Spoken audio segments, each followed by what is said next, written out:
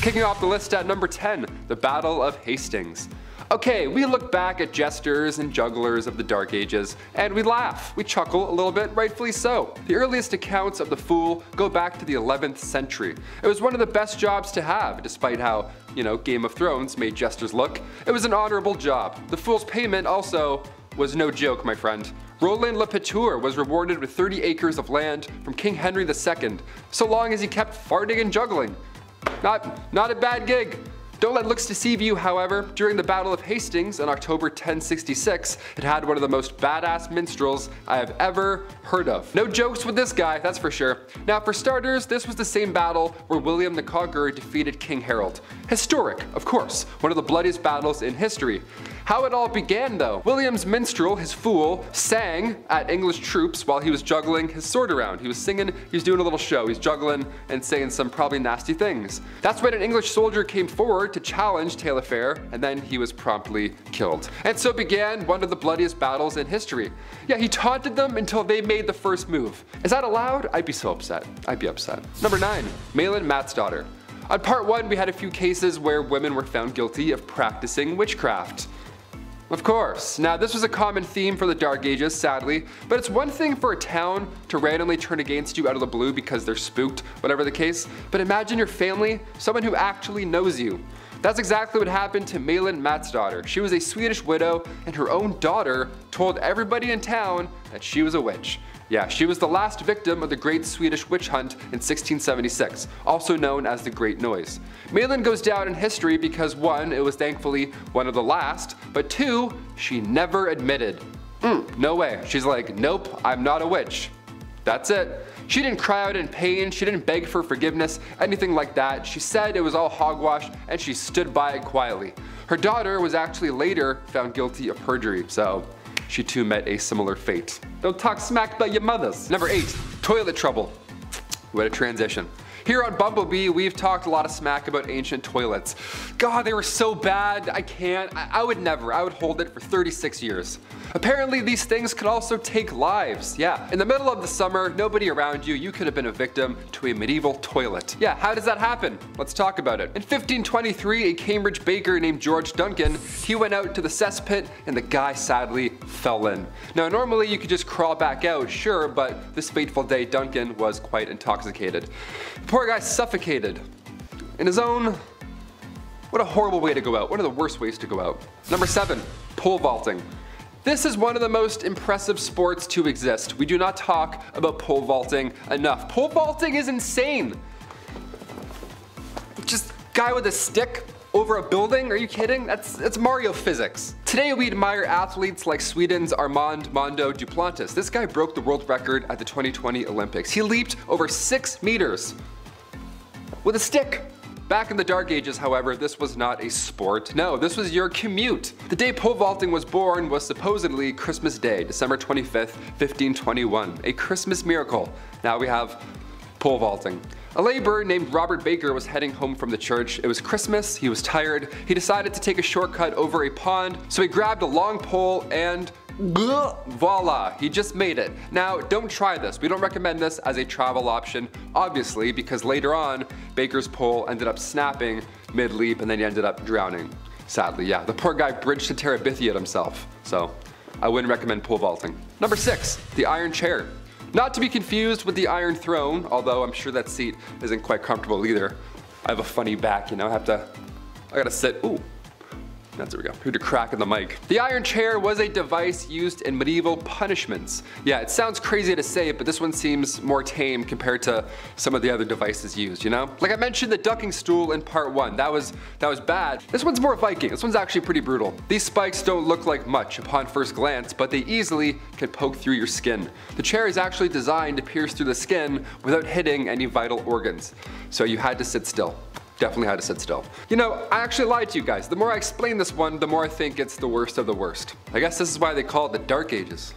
Oh my gosh. Number 5. No birds at the funeral. If you ever want to liven up a funeral, try bringing a parrot. They love to heckle, turns out. Former President Andrew Jackson, he passed away a long time ago. He passed away in 1845. Now, it's important to note that he passed away before his pet did. He passed away before his pet parrot died. So the parrot, of course, attended the funeral, right? How lovely, right? I bet after I said that, you said, oh, maybe you gave it a thumbs up, maybe you subscribed. Good stuff going around, right? It's lovely. Thing is, the parrot loved to swear. Yeah, he had a few curse words in his back pocket. This parrot actually heckled so much during the funeral that they had to remove it. How epic is that? Got kicked out like it was a comedy club. They're like, all right, put your wings behind your little bird neck, we're out of here. Number four, illegal pedestrian crossing. I see this far too often living in the city. Toronto is wild for this, it drives me crazy. People jaywalking, looks like there's not a truck coming your way. They do that little wave, a little smile, a little weird walk, and they just go wherever they want. Middle of a Toronto intersection, they're like, hey, I'm 92, see ya.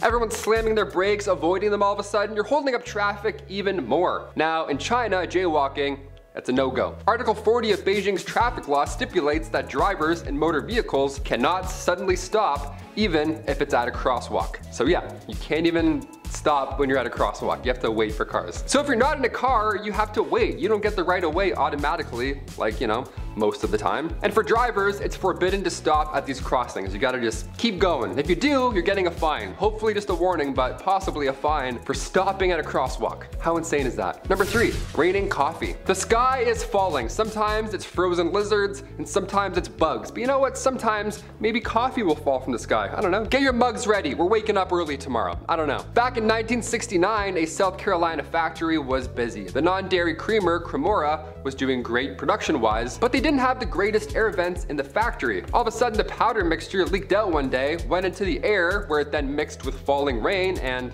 Voila. Now we have double doubles falling from the clouds. Now we have a really odd rainfall. Chester, South Carolina. It was the day we woke up to coffee goop on our lawns instead of dew. That's memorable for sure. The company ended up paying a fine of $4,000 for allowing their product to be released from the plant.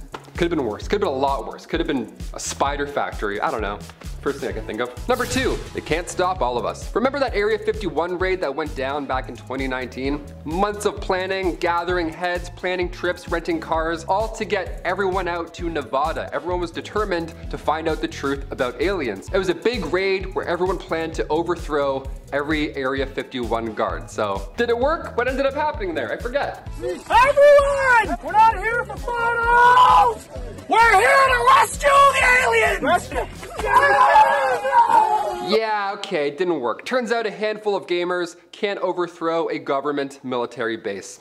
Who knew? Shoot, maybe next time, I don't know. So what was the goal here? 1.5 million people signed up to storm Area 51 in 2019, but this wasn't the first time something like this happened. Back in the 1950s, the public also wanted answers. It was June 17, 1959, and the Reno Evening Gazette published a story with the headline reading, More Flying Objects Seen in Clark Sky. That's pretty alarming. Then the paper went on to describe how Sergeant Wayne Anderson, a local sheriff, was one of many who spotted what the paper described as an object bright green in color and descending towards the earth at a speed too great to be an airplane. Yeah, I just watched Jordan Peele's Nope. Couldn't have done this list at a better time if you ask me. What did they see? It was green, it was close, was it Optimus Prime just coming to say what's up? I need answers, folks. And finally, number one, tombstones ashore. Here we go, death is calling. Back in 2012, the world thankfully did not end, but if you believed that it was going to, this definitely would have freaked you out. Back in May 2012, two friends were on a nice beach walk right on the coast of San Francisco's Ocean Beach. Now, when all of a sudden something that looked like a fridge started to crash through the waves and then onto the shore. Now it turns out it was not a fridge, that would have been lovely, it would have been a nice surprise, just some fridge goods popping out from 1976. It turns out it was a massive tombstone from the year 1876. It was a little more haunting than a fridge. The tomb originally belonged to Emma Bosworth and then just one month later,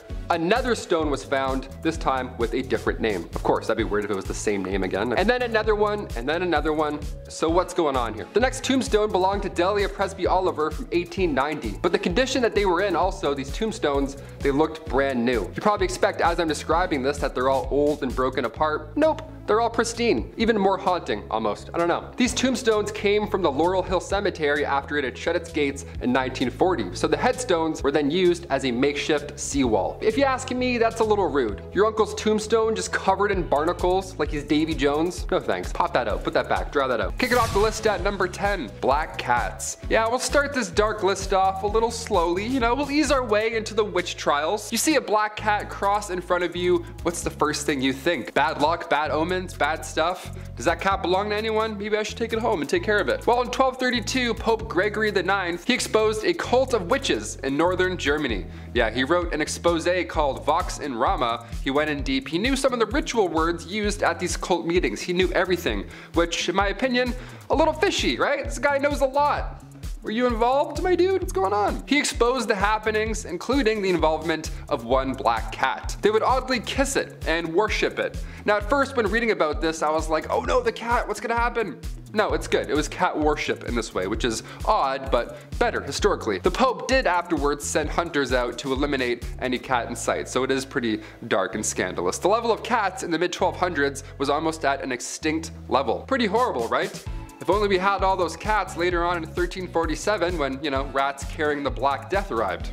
We definitely could have used a few cats, but Eh, witches. Number nine, flat earth. Okay, it's 2022. We can watch live footage right now from the International Space Station just whipping around us. We can fly to Australia in this day and age. We can have a window seat and watch the entire commute. But there's still a good amount of people today that believe that the earth is flat. How shocking is that? How scandalous indeed. The same guys who believed women were witches were also like, Oh, of course the earth isn't flat. That's crazy. How conflicting is that historically? We think any time before Columbus, especially back in the Dark Ages, we have this general idea that they didn't know anything, specifically the scale of the planet or even the universe for that matter. We're still launching telescopes into space to record the edges of the galaxy. There's so much we don't know today, yet there's still flat earthers. Shocking enough, the Middle Ages didn't see many of those. In the 13th century, navigators were regarding the earth as a sphere, with four cardinal points as well. Even going back further, looking at ancient Roman days, in 77 AD, Pliny the Elder, the ancient philosopher, also agreed on the Earth's shape. It was common knowledge, dare I say, even in the Dark Ages. So if you know any flat earthers, send them this link. And then also send them a link of the ISS. I don't know. Number 8. Red hair problems. Alright, if you're a redhead out there, I'm sorry about this one. I had to. I had to talk about it. History can be ugly sometimes, and more often than not, it doesn't make a lot of sense. Historically, urine has been used for the greater good. Teeth whitening, Roman laundry days, urine makes leather soft. We get it. The Spanish Inquisition brought with them the idea that red hair was a sign of witchcraft. Yeah, the sign of the devil himself. The manuscripts published at that time about redheads too didn't help. They were horrible. The Proverbs of Alfred warns against having a redhead as a friend. And then another manuscript, Secretum Secretorum, warns against using redheads as advisors. Yeah, not even a work friend. Sorry, Big Chud. Ooh. 14th century manuscripts tell me that you're working for the devil, so now we can't talk to you, all because you have nice hair. Another manuscript from the 14th century believes that redheads are rarely faithful in both friendships and romantic relationships. Yeah, if you have a redhead partner, don't go through their phone, okay? Don't listen to the Spanish Inquisition, okay? Don't listen to the devil. They're not working for the devil, okay? They're, they're just fine. They're, they're, they're redheads. Freckles as well. If you had freckles in the Middle Ages, Good game. Number seven, Macbeth's Curse. Every curse starts somewhere, okay? All you theater kids out there probably know about this one. I feel guilty talking about this, here we go. There's a few things you can't say to an actor before a show, and oddly enough, good luck is one of them.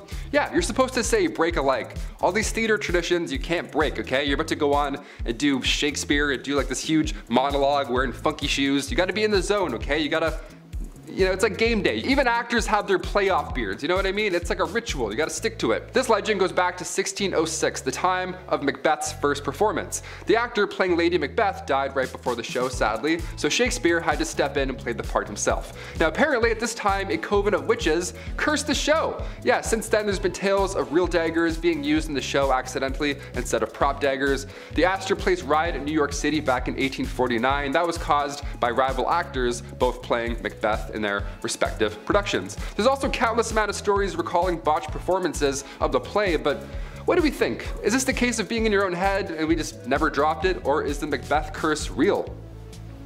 I don't know. Covid of witches cursing plays. That sounds pretty pretty medieval. I hope it's not real. That would suck. I just got cursed. Number six, witches curse. Ah, more curses. Let's do it. From the 1400s to the 1700s alone, there were around 50,000 individuals who were all found guilty of witchcraft and wizardry. And we all know what that meant.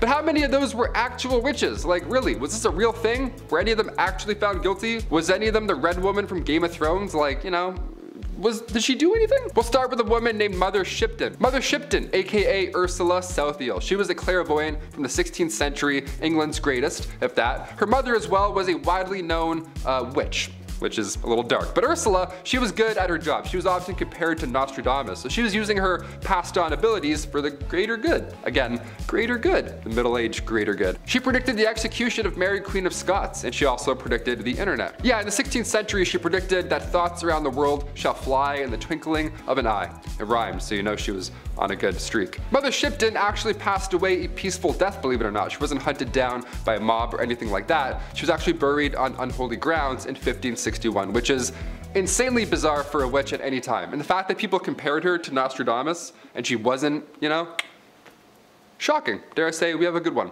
A nice good one for a halfway point. All right, number five, the Great Whiskey Fire. Now we talked about the molasses explosion. This is kind of similar, but also I can't believe it. I love when bartenders set your drink on fire like they're magicians. Like, but the Great Whiskey Fire is nowhere close to an outstanding whiskey sour dressed up in a coupe. In Dublin in 1875, 5,000 barrels of whiskey were ignited and made a river of fire in the streets of Dublin. The fire started at Malone's Malt House on Chamber Street where the barrels were being stored. Once the fire touched the barrels, obviously they exploded into a whiskey lava river of death. Unless you love a hot toddy, is. I know a hot toddy's made with rum. I just, you know, you could you could also use whiskey. Anyways, all you could basically do was run. It was like, it set fire to everything it touched. Water, sand, gravel were all useless against it, so Captain James Robert Ingram, the head of the fire brigade, suggested horse manure, and miraculously that worked, but imagine the smell. It was the most destructive fire in the history of Dublin and 13 people died. As terrifying as this sounds, no one died from burns or suffocation from smoke inhalation. As the city was succumbing to the fire, crowds gathered around the pool of whiskey with pots, pans,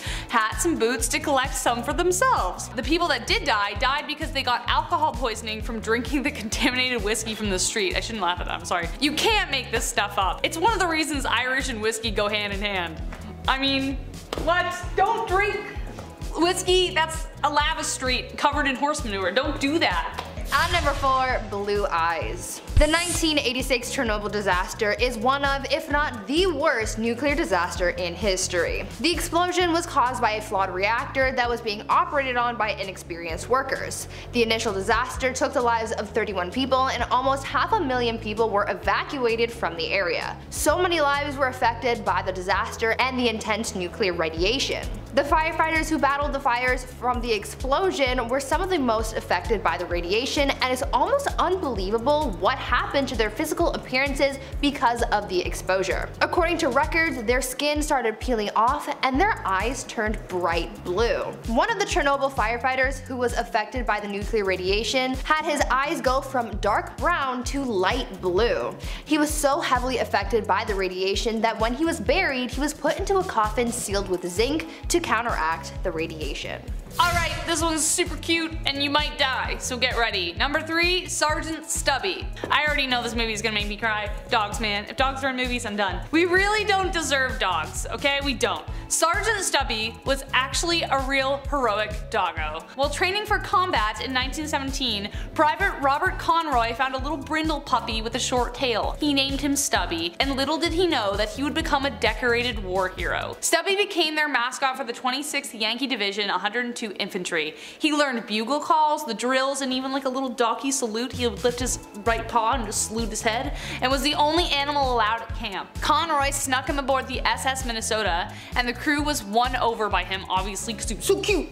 How could you not? They brought him to the front lines and Stubby saved life after life. He woke soldiers during a gas attack, he rescued fallen soldiers on the battlefield by following the sound of English calls he could distinguish the languages, even captured an enemy spy. After this incident, he was promoted to Sergeant Stubby. Because how can you not? He captured an enemy spy, he did his job. Sergeant Stubby served and survived 17 battles, staying with Conroy even until after the war. He finally passed away in 1926, his service complete. Alright, at number 2, Huberta the Hippo. You've probably never heard of Huberta the Hippo, South Africa's most famous hippo, so I'm going to tell you about her and what made her so extraordinary. In 1928, Huberta the Hippo walked 1600 kilometers or 1000 miles, traveling from her home in the St. Lucia estuary to East London. Huberta became quite the celebrity on her journey as she drew in large crowds of people wanting to see her and give her food. Along her journey, she even stopped at a country club, a theater, and even the beach. After failing to capture Huberta, she was officially declared royal game, meaning no one could harm her. Sadly, however, just a month after arriving in East London, she was shot by a couple of farmers. People were so upset that these farmers harmed Huberta that they demanded their arrest. The farmers were arrested and fined 25 pounds, which was a lot back then because it was the Great Depression. Huberta's body was given to a taxidermist in London and in 1932 Huberta's body was sent back to South Africa where thousands of people gathered to welcome her home. Number 1, last but not least, Ching Shi. I love Pirates of the Caribbean, it's my jam. Pirate! Yay. Before I knew how bad pirates would actually smell in real life, Jack Sparrow, loved him, but really couldn't get like six feet next to him. He would have smelled so bad. But a movie series seriously needs to be made about Ching Shi. Her story is incredible. She became known as the terror of South China due to her massive fleet of over 50 to 70,000 pirates. She started out working as a woman of the night until one night she met Cheng Yi, the pirate captain who ruled over the Red Flag fleet. The captain proposed to her and she said yes under the condition that they would share the power of the fleet and the plunder. Together, they launched a fleet of over 1800 ships. They were highly organized, ruthless, and disciplined. Sadly, six years into their marriage, her husband died, leaving Ching Shi alone to rule. She ran a tight ship, handing out fierce punishments to all those who disobeyed her orders. She was strict with her prisoners, keeping her men in check should any woman be taken in. Should they take a wife, fine, but they had to remain faithful. If they didn't, well, dead. If they took a woman against her will, dead. Any who deserted would be hunted down and tortured, then killed. The Red Fleet eventually felt like a floating country, even routinely taxing villages. The Chinese government eventually realized they couldn't defeat her. They were so scared, so instead of um, going to battle, they made a bargain. A bargain that allowed her to retire to wherever she liked with all of her riches and her uh, new bow. So, it's good to be a pirate queen. Number 10, the dust. In the year 536, apparently a large cloud of dust and or fog covered up the sun for 18 months in Europe. Naturally, back then there could have been a thousand reasons why this could happen, or at least that's what people thought. A quote from the wise Procopius describes the event. as follows. For the sun gave forth its light without brightness, like the moon during this whole year, and it seemed exceedingly like the sun in eclipse, for the beams it shed were not clear, nor as it is accustomed to shed. And from the time when this thing happened to men, were free, neither from war nor pestilence, nor any other thing leading to death. Ooh, wow, that sounds bad was bad. Our best guess is that there was a lot of volcanic activity at the time and it could have covered parts of Europe, which is so awful I can't even, and you'll see why. Number 9. Famine. So related to the last point, in a time in history where there's no industrial agricultural sector, greenhouses, and those grow lights that you're totally not growing the devil's lettuce with in your basement. Yep, that's right, I know about it. Mm -hmm. Nice try, I know. Growing food can be difficult. Weather, pests, disease, harvesting a full crop is both rewarding and difficult. Well, since the dust cloud had blocked out the sun for 18 months, that meant the crops were not reaching their full fruiting potential potential. This cloud of dust again most likely came from volcanic eruptions and is speculated to have even dropped the temperature a few degrees. God, that sounds awful. Number 8. The Plague. Man, this is really shaping up to be the worst year ever. We thought 2020 was bad. Also in the year 536, there was a terrible plague, known as the Justinian Plague, or really, it's the Black Plague, but it's first round of it. As if having the sky filled with smoke and no food wasn't worse enough, people were dropping left, right, and center. Literally, they couldn't keep up with the body count. Apparently reaching thousands within days. That's that's bad. You don't like that's not good. You don't want that. There were so many bodies that it began to stink up Constantinople. The bodies were thrown into the sea, but they kept resurfacing, which uh, God, that's so gross. I, oh, can't even, gonna be sick. So, Emperor Justinian ordered the bodies removed from the city, which oftentimes led to the body carriers themselves succumbing to the disease. Too bad they're years away from some Purell and a mask. You know, just some good old something to sanitize the hands with, you know? Jeez. Number 7. Winter. Canada. Winter, snow. For about 7 to 8 months out of the year in this country, it is cold, snowy, and cold weather, right Chris? Oh yeah. Mind you, we do get nice summers here, it's just a little bit of a trade-off. So when it snows here, even in May, it's not that much of a surprise. However, when it does snow in places like Texas, we tend to take notice. This was the case in 536 China and in places in Mesopotamia, where during the summer months, there were reports of snow, which is really bad, especially if you're trying to grow food. I mean, there's no snow shovels, no plows, and no Timmies. Canadians, how would we even function without a double-double on a cold miserable morning? All Canuck jokes aside, it was quite devastating to the regions and just adds more to what really must be the worst year ever. Number 6. Time to get oot. I am many things. Canadian, moderately funny, and a second-rate John Candy or Chris Farley. I love them both, but it depends where you're from. If you're Canadian, it's John Candy. If you're American, it's probably Chris Farley. What I'm not is, is a quitter. I'm a soldier, a fighter, a trooper, and I hustle my bustle, partner. I'm not shy to turn away from a challenge, and I strive to figure it out. Now, that doesn't mean I'm not afraid to throw in the towel. Sometimes you gotta know when to pull back, reassess, and most importantly, come back. If you, if you come back, you never really quit, did you? If you come back, you're good. Take for an example some towns in central and eastern Sweden during 536 who abandoned their towns. No one is really sure why, but uh, these towns were abandoned, obviously. Not that it's easy to run a town, because trust me, I play city builders, I would know, but it's speculated that already cool temperatures could have been made worse by the volcanic ash that covered the sky. Ooh, yeah, you wouldn't want cold temperatures getting worse back then. Mm-mm bad for you. Number 5. The Prohibition Era. The Prohibition Era was a time where there were restrictions placed on the consumption of alcohol, which of course was done with a ban being placed on the production, importation, transportation, whatever portation, and sale of alcohol by the US government, all from 1920 to 1933. A real boring time. Not really, no one listened to it. Of course this ban certainly didn't stop people from producing or consuming alcohol, it was just done in sneakier, unsafer ways. The black market for alcohol was booming as people began to drink redistilled industrial alcohol instead of, you know, normal drinkable stuff. This is all pretty well known, but one super sketchy thing that's not widely known is something that the government agencies did to curb the black market sales. They poisoned the industrial alcohol on purpose that was being repurposed for drinking. So yeah, some villain stuff right there. Not just poison in a way where the consumer would get sick and maybe not want to drink it anymore, which is already horrendous enough, but they poisoned the alcohol with lethal chemicals. It is thought that by the time that prohibition ended, at least 10,000 people died from this act alone. This event is still one of the strangest and deadliest decisions made by government officials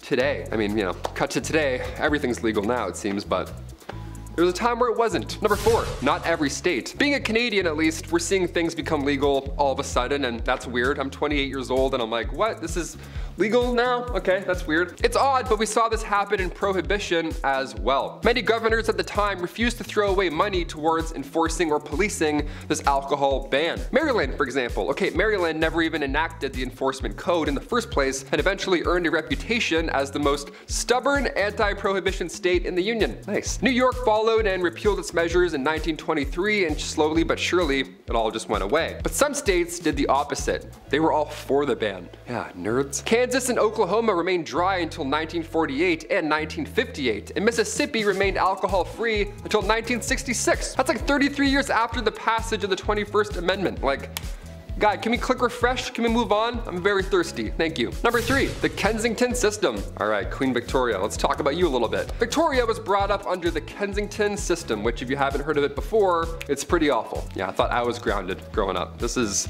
Whew. Victoria's mother, Duchess Victoria of Kent, created this Kensington system to control her daughter's life. I mean, she literally isolated this child from friends or family members, you name it. Her mother did this all to keep her pure. The system sounds awful. Her mother would monitor her every single action, including who she can see or even speak to. Victoria only had two friends growing up her entire life. She had her half-sister, Princess Feodora of Leiningen, and the Duchess attendant, Sir John Conroy. Oh, and the Duchess's attendant, Sir John Conroy, well, his daughter, Victoria. Two friends your entire life. That's awesome. I mean, I only had three friends growing up, but two, that's that's just cruel. She shared a room with her mother until she was queen. She literally couldn't walk down the hall to go to the washroom without her mother being by her side. Victoria has reflected on her childhood, and she said that she hated John Conroy for manipulating her mother. She actually referred to him as demon incarnate. That's uh, that's a hefty burn from Victoria. Number two, Al Capone's brother. What's going on with that guy during the Prohibition era? What's uh, what's the other side of the family doing this whole time? We don't hear about him. Siblings can be the exact same. My brother and I were the same person, pretty much. Al Capone and his brother, they had to separate a little bit. They had to play different paths for a bit. Not homies for a bit, it seems. A little different. Al Capone's oldest brother was a prohibition enforcement agent. Yeah, how ironic is that? Al built a criminal empire built on illegal liquor in Chicago back in the 1920s, but Vincenzo, the eldest of the six Capone brothers, he had changed his name to Richard Joseph Hart, of course to hide his identity, and after working for a bit in the circus, Vincenzo settled in Homer, Nebraska in 1922, and eventually he was a special officer assigned to investigate bootlegging. Now after he lost his badge on suspicion of theft, Vincenzo reunited with the Capone family in 1940. He met back up with Al in Miami and started to get in on that family cash that he's been missing out on. And finally, number one, ice mask. Today you can go on Amazon and get a therapeutic gel face mask for like $20. If you're stressed out or trying to avoid puffy eyes, bam, throw this in the freezer for a hot minute and you're set, just like that. You can make your own aloe vera honey gel mask if you feel like. Just click any vlogger that says the word wellness in their bio and well, good luck. Back in the 40s, Hollywood makeup artist Max Factor Jr. created the first ever face mask to reduce facial puffiness. Yeah, what a magician. And it looked way cooler too. Again, pun intended. They didn't use freezer gels back then, instead just, well, a bunch of ice cube shaped containers that froze individually on your face. It was an ice cube tray mask, rather. It was actually invented to fight hangovers. That's one of the main reasons. How fun is that? Now, it's a shame that this design never got, you know, caught on because the ones today, they're no good. They're too cute. They're not cold enough or big enough. Imagine busting this mask out during a lecture Imagine having this underneath the isolator. You could do anything you wanted. You can invent anything you wanted. I don't know, sound off below. Number 10, the first marathon. Now, the term marathon, right off the bat, it comes from ancient Greek history. The Battle of Marathon, I've certainly mentioned on this channel a few times. But let's look further a few hundred years, give or take. The first ever Olympics marathon. It was an absolute shit show. Seven miles from the finish line, one guy started ingesting strychnine and egg whites just so we could finish the race. So yeah, that was the first ever modern use of narcotics in an official Olympic game sport. One dude was also running the marathon in dress shoes and dress pants. Just a classy lad with 58 blisters, just booking for hours at a time. William Garcia, one of the 32 competitors, straight up almost died during this marathon. He collapsed mid-race. He barely made a recovery. Have you done a marathon before? If so, tell me your experience down below. I did the Toronto Marathon a month ago and I got 35 kilometers out of 42. It was so close it hurt my soul. If only I wasn't wearing those dress shoes, you know, maybe I would have finished. So close. Number nine, Unsinkable Sam. In our last video, I asked who likes dogs and who likes cats and yada yada yada. This one here, I'll give to the cat people. You get one. Cats have nine lives. I'm a firm believer in this theory now. Unsinkable Sam was the nickname for a cat who survived several shipwrecks during World War II. His tale began aboard a German warship called the Bismarck. Yeah, also imagine that image right there. 2,200 soldiers just standing in a line, and then also this black and white cat that somehow snuck aboard. Nobody knows how it got on, but I'm pretty sure one guy does. He's like, the Bismarck was decimated during one of the attacks, of course, and while the HMS Cossack was looking for survivors shortly after, they saw Oscar the cat on a plank. Yeah, he had to earn the Unsinkable Sam alias, alright? You get a new life, you get a new name, then then it happens. The HMS Cossack hauled him aboard, but then several months later, the Cossack was destroyed. Now this time it was the HMS Ark Royal who spotted the cat, and then the fearless feline was dubbed Unsinkable Sam. Little man passed away in 1955, not on a warship, so that's great. Hope there's therapy in cat heaven. My god. He's like, well, four out of the nine sucked. I don't know. Number eight, Robert Liston. In the early 19th century, crowds would gather to watch Dr. Robert Liston work, okay? They would huddle around like it was a dance battle. They get nice and close and breathe in each other's mouths. He was known as the fastest knife surgeon in the West. I know, how many red flags can you find already? A crowd, a fast surgery, this guy just in the middle of it. What's going on? Like, please help me. Please put me together. I don't know. This was a time before anesthesia had been developed, so you wanted things wrapped up quick. Pun intended. Now, Robert, he would have you amputated and sutured in three minutes flat, right? Don't you want that? Don't you want a nice fast surgery? Mortality rate was 300%. Not great at all, in fact. And then one fateful day, Robert attempted to beat any record previously held. He was trying to perform the fastest surgery, but during so, he accidentally cut off his assistant's fingers as well as the patient's leg. So, I don't know what the guy's doing with his arms, but you're like, buddy, slow down. We got more than three minutes, it seems. He also hit somebody else watching by accident, you know what I mean? Remember how I said crowds would gather, the old surgery crowd? This is why you don't stand too close, okay? It's like crump battles. You get too close, you're getting nicked by something, either Robert or some guy in Tim's.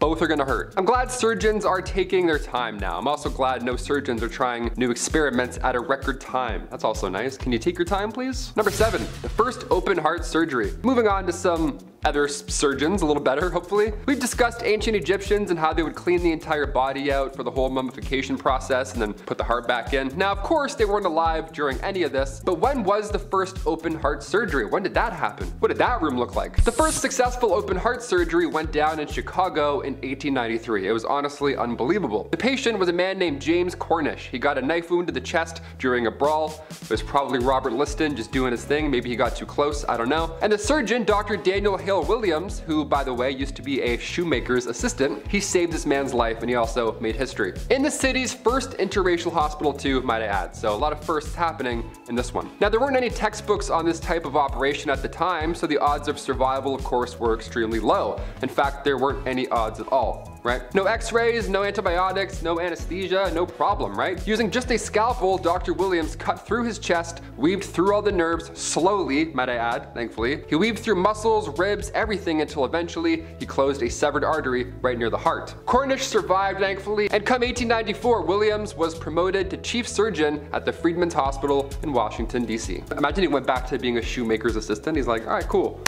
Now I want those shoes. Number six, the Pfizer fine. When we think of the name Pfizer now, there's obviously mixed feelings, pun intended. But back in 2009, before they were making cures, they were paying some hefty fines. The world's largest pharmaceutical company had to pay a record-breaking fine. They had to pay $2.3 billion in criminal and civil penalties over unlawful prescription drug promotions. Now included in this mighty slap on the wrist was a $1.2 billion criminal fee. Now if that didn't sound bad enough, in the agreement was also a criminal forfeiture of $105 million. So you're paying and you're also getting more stuff taken away. It's all bad. This was the fourth time Pfizer got charged with this magnitude in a decade. They were on a pretty bad streak. What got them in hot water in the first place is that they would promote their products at resorts, right? They would invite doctors to these meetings, give them golf, massages, whatever. They would pepper you up nice so that you were Team Pfizer by the end of the trip. And you were all tan. You looked nice, right? FBI Assistant Director Kevin Perkins says the corporate giant was blatantly violating the law and misleading the public through false marketing claims. In our number five spot today, we have the London Burkers. This is the name used to refer to a notorious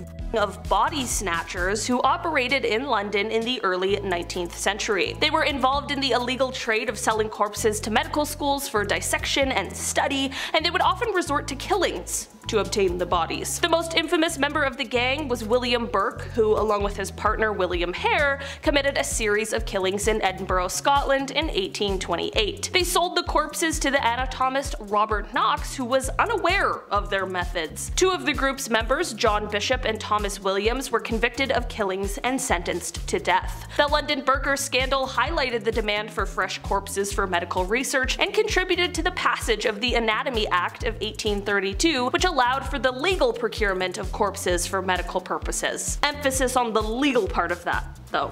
It's important. In our number 4 spot today we have the Great Stink of London. The Great Stink of London was an environmental disaster that occurred in the summer of 1858. It was caused by the city's inadequate sewage system which allowed raw sewage and waste to be dumped directly into the River Thames. The hot weather only exacerbated the problem, which is disgusting, and it caused the sewage to ferment and emit a foul odor that permeated the city. The smell was so overwhelming that it caused widespread illness and forced many people to flee the city. Parliament was forced to act, and a major engineering project was launched to build a modern sewage system for London. This project was led by engineer Joseph Bazalgette, who designed a system of sewers and pumping stations that would carry sewage out of the city and into the Thames estuary. The construction of the new sewage system was a massive undertaking involving the excavation of miles of tunnels and the construction of large pumping stations. It took several years to complete, but once it was finished, it greatly improved the health and hygiene of the city. The Great Stink was a turning point in the history of public health, and it helped to spur major improvements in sanitation and public health infrastructure across the developed world. Today, the legacy of the Great Stink lives on in the modern sewer systems and wastewater treatment facilities that are really essential for maintaining public health and environmental quality. In our number 3 spot today we have Typhoid Mary. The Typhoid Mary case is a famous incident in the history of public health in the United States. Mary Mallon, also known as Typhoid Mary, was an asymptomatic carrier of the bacteria that causes typhoid fever, a potentially fatal disease. Despite being unaware of her condition, Mary inadvertently infected numerous people during her work as a cook in New York City in the early 1900s. After a number of typhoid outbreaks were traced back to Mary's cooking, she was tracked down and forcibly quarantined for several years. The case generated significant controversy at the time, with some arguing that Mary's civil rights had been violated and others maintaining that public safety justified her isolation. The Typhoid Mary case remains significant for its implications for public health policy and for the balance between individual rights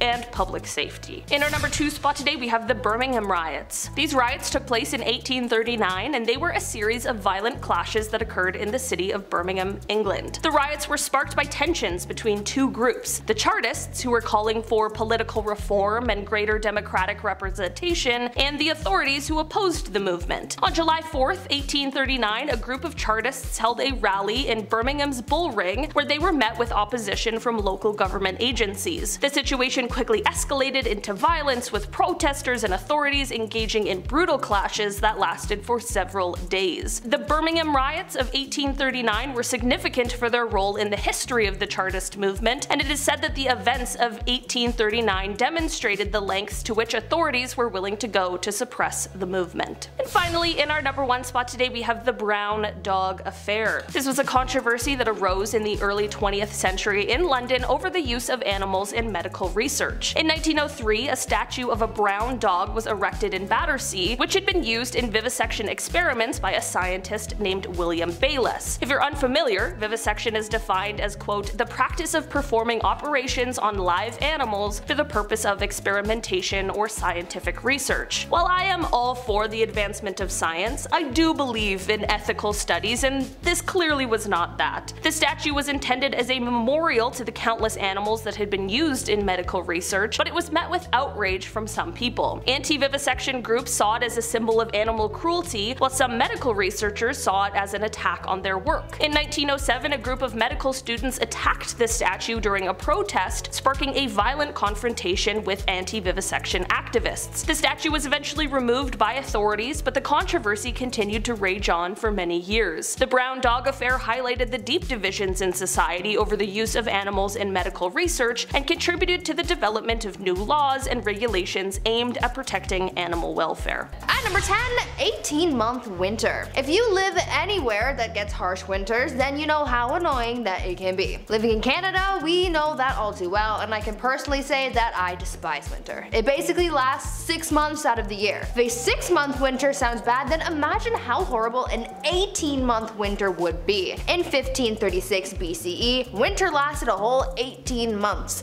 Based on archaeological records, a thick dust veil and darkened skies caused temperatures to drop significantly in Europe and parts of Asia. This created some pretty frosty summers and harsh winters for those living in the area at the time. It is believed that this was all caused by a volcanic eruption that shot dust particles into the air and they didn't dissipate for a long time. This phenomenon wasn't just a minor inconvenience to people though, and it greatly impacted the lives of many. It is believed that about a third of Europe's population was wiped out and death rates soared to about 90% in northern regions. It was quite the catastrophe. Alright, number 9 Andrew Jackson. You know when you get so frustrated with someone, you just like take over and like do it yourself? You're like, come on, just let me do it. Well, that's probably exactly what went through Andrew Jackson's brain when he was about to be assassinated because it was so poorly done. He survived two point blank assassination attempts by the same guy, seconds apart. It was a cold, wet day in January in 1835, and Richard Lawrence waited behind a pillar inside the Capitol Rotunda. The aging president was there to attend a funeral, of all things, and Lawrence wanted to add one more body. He leapt from behind the pillar and fired. A loud bang went off, but the powder failed to ignite. Fail number one. Andrew was not pleased, and despite his aging form he was using a cane, he went at him with said cane. Lawrence quickly grabbed another pistol and the same thing happened again. Misfire. Wow. You got so close dude and you really messed that up. During the trial it was confirmed that Lawrence was indeed insane and thought he was the true king of England. And according to him the only thing standing in his way to achieving like true power was Andrew Jackson. At number 8, Boston Toffee Apple Tsunami. Imagine a great wave of sticky syrup flooding your town. What would you do? Run? Hide? Have a quick snack? Well, for people in Boston in 1915, they didn't have enough time to think about those things when the Boston Toffee Apple Tsunami happened.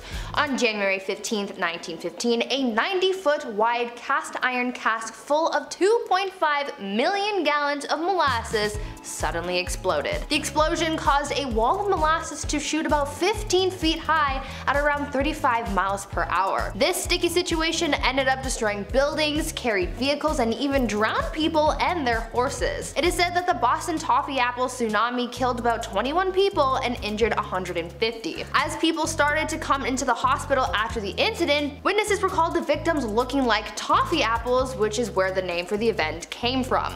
It took the city weeks to clean up the molasses, but even for years following the incident, people said that they could still smell the molasses in the air on a hot day. Number 7.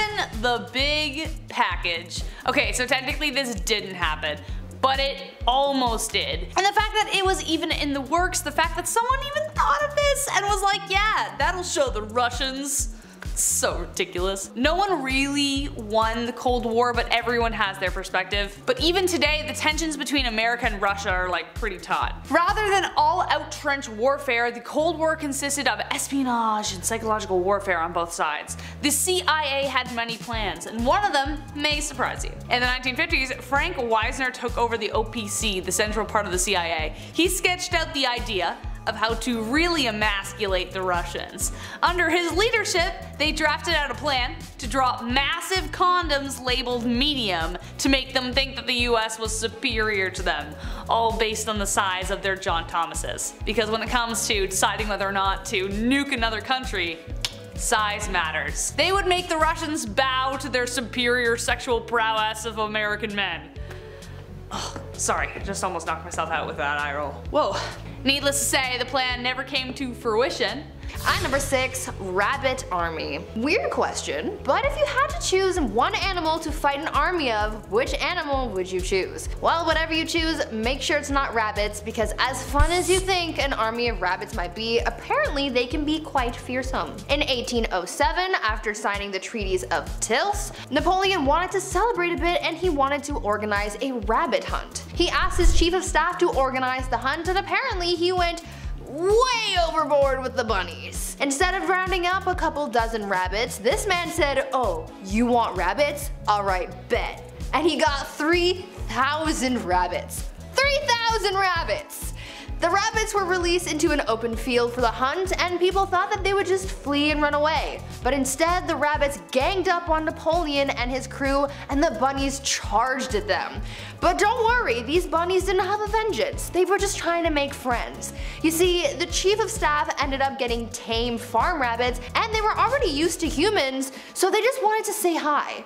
But could you imagine those first few moments of having 3,000 rabbits chasing after you? Number 5. Basket of bees. Guess what this one is? It's pretty much, that's exactly what it is. It's horrible. We often look at ancient Rome as the birthplace for numerals, modern plumbing, social life, all that good stuff. Don't get it twisted, ancient Rome had a lot in common with the Dark Ages as well, okay? The punishments that they would inflict on others, horribly creative, I'll say that. Like for example, a basket of bees. A basket of bees, there we go. Maybe wasps, who knows, I don't know, history gets all crazy, you know? This punishment saw the victim placed in a large woven basket, naked, might I add. Then the basket was hoisted up near a beehive, of course, and then Romans would just anger the hive. They would just shake the basket. And then in turn, all these bees would sting said victim to death. This was meant to be a long and painful death, but eventually, this is how humans realized folks were allergic to bees. Because they would meet their demise a little too fast, you know? Romans would be like, ah, what happened? What's going on? Are we going home now? That's it? Number four, the Colosseum. They say Rome wasn't built in a day, right? Right? No, I'm asking you, I don't know, that's a saying, I think I've heard that somewhere. The word Colosseum is a Latin noun formed from the word colossus, meaning gigantic. And it's huge! It once held more than 50,000 people at one time or another. That's literally the Yankee Stadium. This oval stadium was built from cement, limestone, and volcanic rock. Yeah, that thing ain't going anywhere. Historians and archaeologists are still discovering and unearthing secrets of this site. In fact, most of Rome still hasn't even been dug up yet. What? That's right. In fact, only about a tenth lays discovered, with the other 90% still somewhere around 30 feet below street level. Who knows how many wonders of the world lay unearthed? The Colosseum, also known as the seventh wonder of the world, lays megalithic, 615 feet above the ground at the center or heart of the city. It is the largest ancient amphitheater ever built, and it is still the largest standing amphitheater in the world today despite its age. Its use for the last thousand years were rampant with events, festivals, and would even flood its center to reenact naval wars with real ships. How did they get those things in there? I bet that's how they made the bottle in the ship thing, just kinda. And all that water? Just a guy with a giant hose? Yeah, yeah, go ahead, turn it on. Uh, yeah, we're gonna be here a while, guys. We gotta push the play. Number three, boot and rally.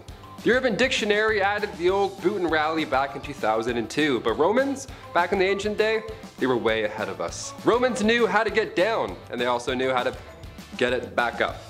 Yeah, ancient Romans would boot and rally in order to continue eating and drinking. What would normally be a red flag at any house party or event was a sign of respect back then. These banquets, these were social events, okay? They were nothing like Tyler's toga party last Halloween. It's not, it's not the same at all. Same amount of puke, not the same theme. Attending these parties was a sign of social standing, so you wanted to be around the longest. You wanted to drink the most, dance the most, converse the most, and also, yeah, puke the most. No playing around in Rome, okay? I wouldn't last two hours at one of these. Kyle knows what's up, he's seen it. I bring Tums to the bar now, you know what I mean? I'm always prepared. The solution in ancient Rome was actually quite simple, long before Tums. See, what you would do is you would excuse yourself from dinner, go across the hall to the vomitorium, then you would grab a feather, any feather you like, and then you would just go, and then put it back, and then go right back to dinner. Then enjoy more lobster, because, hey, now you made room. Number two, gladiators. If you've seen the blockbuster hit Gladiator with Russell Crowe, my name is Maximus Decimus Meridius, then yeah, absolutely nailed it, because that's pretty well it. A stew of slaves, lawbreakers, and ex-soldiers, the Gladiator Games were one of Rome's most brutal and vibrant live events. Gladiators would be held underground under the Colosseum until they would be called upon to spill the blood of both man and animal in sport. Fighters would be matched based on their size, previous record, skill level, style of fighting, and years of experience just like the professional contact sports today. Fighting out of the red corner at 195 pounds, the reigning victor, Spartacus! Oh, you're Spartacus? Oh, sorry. No, no, you're... Yours, okay, you're Spartacus. Spar okay. But it wasn't all thumbs down for these fighters. Gladiators were the celebrities of their time. Yeah, you can take that. There you go. Ah, okay, one. We'll do one. Some gladiators even fought years after earning their freedom. Those years did not seem to be that long with the average lifespan of the gladiator, though, living just to their mid 20s. I mean, it was. It's pretty physical. The event was not just to kill your opponent. In fact, months of training and preparation was had.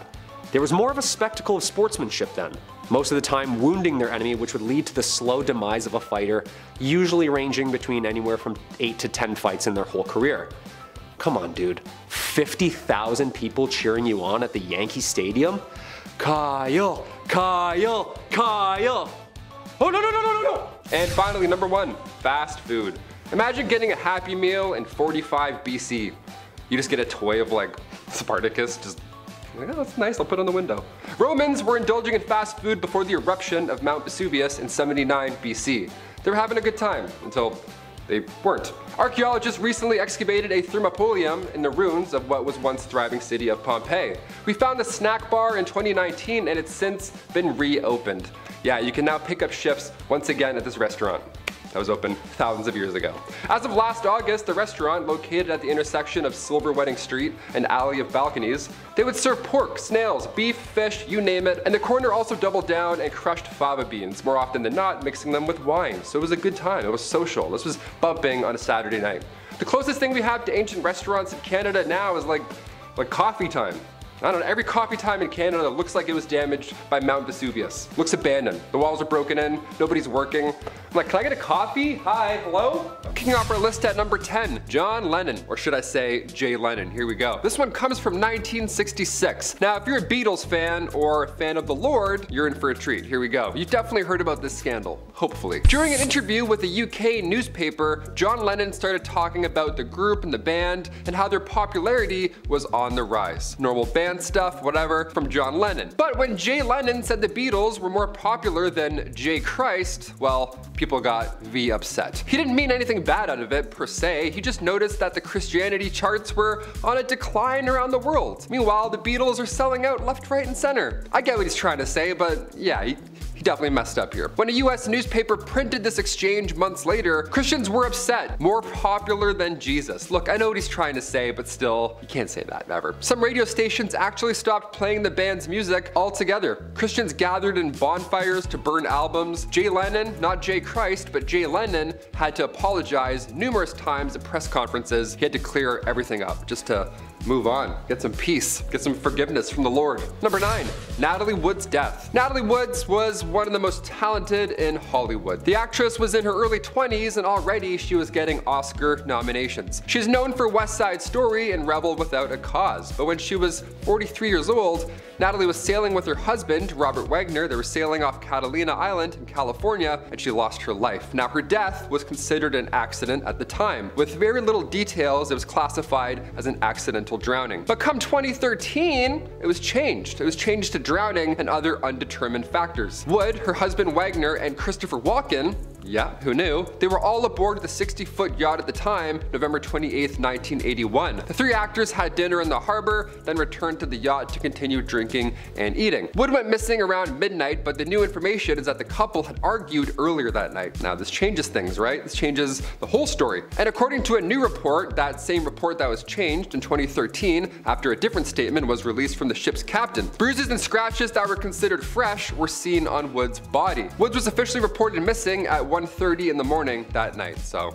a lot of questions, but I don't know. How do you solve that? This, how many years later? Number eight, the isolator. All right, a little different, but still definitely weird. This image may seem haunting at first, but it's actually quite ahead of its time. The isolator came long before noise canceling headphones or lo-fi beats to study and relax to. This goofy looking helmet was intended to block out noise and finally allow you to concentrate on finishing that Victorian era paper due the next day. Now this was back in the early to mid 1900s when inventor Hugh Gernsback worked hours and hours to create this study buddy to block out distractions in life. Now this is a powerful image because the things that distract us today like Instagram, Messenger, dating apps, YouTube, none of those things were even a concept back in 1925 when this device was revealed to the public. So you can only imagine what we need now, right? We need like the ultimate isolator. It's just a motorcycle helmet. It's just Daft Punk's helmet turned off, really. That's all we need. Number seven, Mary Pickford. Now I mentioned earlier how these celebrity scandals often came from their love life and then they have to, you know, maybe there's some stuff happening, maybe they were arguing before, that changes the game. Everyone cares about who's dating who and who's divorcing who. I mean, look how often we bring up Pete Davidson today. I mean, how's the guy doing it? Really, how's he doing it? Now, as hard as it is, we can't judge people off a headline or a scandal or whatever we see. We don't know the full story at all, regardless of what it looks like or what we want it to look like. The silent film star divorced her husband, Owen Moore, around the 1920s, and then she married a man named Douglas Fairbanks right after. Now, when I say right after, I mean less than a month right after. Like Pete Davidson speed. I'll admit that would interest me as well. I'd have my own opinion. Sure. Now, the public, at first, they weren't happy with Mary Pickford. They made assumptions about how long this affair had been going on. Oh, she was married. How could she? Yada, yada, yada. Her career was actually on the line because of this scandal. And that was until Owen Moore was confirmed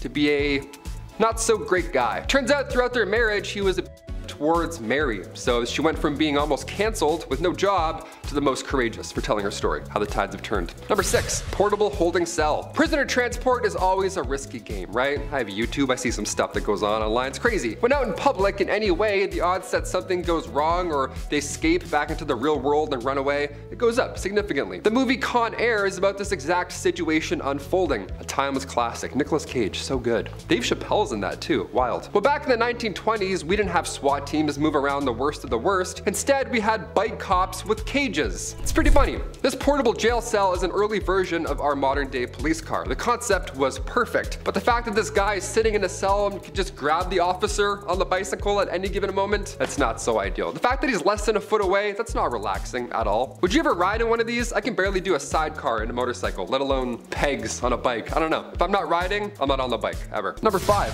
the sky is the limit. The 1920s witnessed remarkable advancements in aviation, right, as I just explained. Airplanes were becoming a widely accepted mode of transportation, but two significant milestones unfolded during this decade, shaping the course of aviation history. The first extraordinary achievement was by Charles Lindbergh, who embarked on a unprecedented solo flight way across the Atlantic Ocean. He flew from New York to Paris, May 1927. The historical feat captured the world's attention, showcasing the potential of aviation for long distance travel. Also, so terrifying to be the first person to fly over the ocean. I'd be like this the entire time. I'd be so, I couldn't breathe. I can't breathe right now just talking about it. The following year, Amelia Earhart made her mark by becoming the first woman to traverse the same transatlantic route. Although she participated as a passenger, this sparked her entire life and history, so we'll say this is two in one. Number four, TV. How are you watching this? Are you watching it on your phone late at night? Should be sleeping, getting ready for work in the morning? Or are you watching it proudly on your TV? Also, should be going to sleep, but you're staying up watching YouTube. Nice. The first television invention dates back to the late 19th and early 20th centuries. Now, various inventors contributed to its development, took a few steps, that's for sure, but one notable pioneer was Philo Farnsworth. Great name also, Farnsworth, what a great great time. In 1927, Farnsworth successfully demonstrated the first fully functional electronic television system, and it was known back then as the image dissector. Yeah, are you watching this on your image dissector right now? Give us a thumbs up on your dissector, thank you. His invention utilized a cathode ray tube to capture and transmit images through a series of electronic components. I have no idea how it works, but I love that it does. Big fan of that. Farnsworth's breakthrough led to the foundation for advancements in television technology, leading to the widespread adoption of TV as a form of modern entertainment. Again, big fan. I have like four TVs, man. This is ruining my life, really. Number three, radio. Video killed the radio star, but they had a really good run for a bit there. They had a couple of good years. In the year 1920, a significant milestone in communication occurred with the launch of the first commercial radio station in the United States, KDKA, based in Pittsburgh. Now, this event marked a transformative shift in how Americans access news and spent their leisure time. A lot of time listening to radio after that. They just sat down and just listened for a bit. The radio quickly gained popularity and by the end of the 1920s, approximately 12 million households had radios. A lot of distractions going on. The invention of radio broadcasting revolutionized how we took information, entertainment, and cultural content, connecting people across the land. And also, it was fun to listen to music. That's that's the most of what we do with that. Do you listen to the radio still? I feel like there's like two people that do, and they're, they're both my grandparents. That's about it. Number two, American football. The birth of American professional football can be traced back to August 1920, when the American Professional Football Association was established, eventually evolving into the renowned National Football League, the NFL, which we all, of course, know. The sport itself had originated as a variation of rugby, incorporating elements from the other type of football as well, and then they began gaining popularity in the 1880s. But by the 1910s, football had emerged as a spectator sport. It was bringing in audiences all across the United States. Now it's starting to get real. I have no idea how to play football. I have no idea how to watch football either. I just look at them like, cool, who's winning? What are they doing? Why aren't they playing? Who's talking? I don't know. They're just throwing things in while they're trying to play. I have no idea. I'm more of a water polo kind of guy. Know what I mean? And finally, number one, voting rights. Of course. Of course. The journey towards women's voting rights in in America was far too long. It culminated in the passing of the 19th Amendment to the US Constitution in 1920, granting women the right to vote, finally. This achievement was the result of decades of activism, protest, and advocacy with the help of suffragettes Susan B. Anthony and Elizabeth Cady Stanton. The suffrage movement gained momentum in the late 19th and early 20th centuries as women fought for their political and social equality. The 19th Amendment marked a significant milestone in American history, of course. It expanded the democratic participation and it advanced advance gender equality. Cut to 100 years later, we're still working on it somehow, so hopefully we figure it out soon, right? Those are the top 10 unusual events from the roaring 20s. Do you believe we're in the roaring 20s again, or are we in the boring 20s? I don't know. VR is making it, you know, a little interesting, but I think we're too far gone. Number 10, mummification. Back in the ancient Egyptian times, of course, mummification was common. And even today, we're finding more mummies. It's pretty exciting. We're uncovering more ancient history every day. But how the hell was mummification done? Obviously, we can't talk about this in school because we're a little too young and maybe it's a little frightening. So, warning, it's a little gross. We've talked about teeth worms and trepanation, so I don't know. I feel like you're prepared. Well, for starters, mummification wasn't cheap. Being mummified was reserved for the rich. Now, it's pretty brutal, but what you would do is you would put a hook in your nose and then you would pull out your um your brains. All of the brains and the mushy stuff just right out of your head. And then you would cut the left side of the stomach open, remove all of those goods, all those organs, gone, easy. And then while those are drying, you would put the lungs and the liver in jars. So ancient Egyptians, that's why they needed a lot of jars. You gotta put lungs and organs in it. And then you put the heart back in the body and then wash the insides out with wine and spices, all that good stuff. And then you would cover the body in salt for 70 days. Now around day 40, you would stuff in some sand, and then come day 70, that's when you would wrap them finally in the mummy bandages. And then the sarcophagus finally awaits. Those jars of organs were also stored in the burial chamber. So if you watch the mummy and they're, you know, making somebody a mummy and they're like moving around, no, it wasn't like that at all. It took 70 days. It was a long, exhausting process. Number nine, first open heart surgery. Okay, going back to ancient Egyptians, why not? We're on a little track here. So they would clean the entire body out and then they would put the heart back in. Now, of course, they weren't alive during any of this, obviously. But when was the first ever open heart surgery? When did the impossible become a reality after this? Well, the first successful open heart surgery after mummification went down in Chicago in 1893. The patient was a man named James Cornish. He got a knife wound to the chest during a brawl. The surgeon, Dr. Daniel Hale Williams, who by the way used to be a shoemaker's assistant, he saved this man.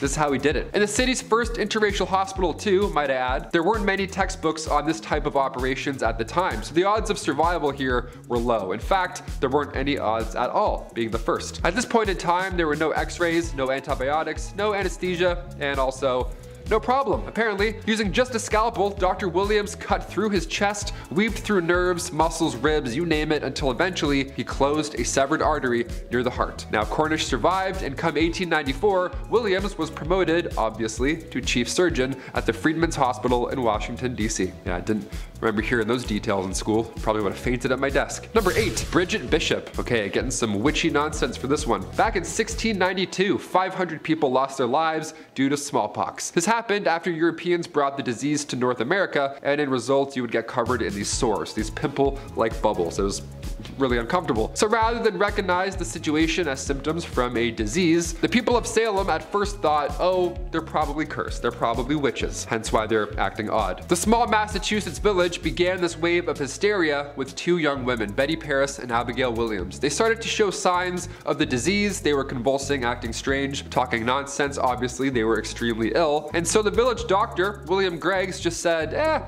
I think they're bewitched there's a couple of witches in our presence. And then other villagers slowly started to show similar symptoms because, you know, science, that's how it works. But at the time, they believed Bridget was the first ever witch, and she was just cursing everybody around her. It was kind of the reason they kicked off the entire Salem witch hunt. It was all because of Bridget Bishop. Over the next few months, around 150 more folks were all convicted, all meeting their similar fate on Gallows Hill. Maybe it was Bridget Bishop, or maybe it was just rye disease. It's now referred to as St. Anthony's fire. You convulse, you experience delusions.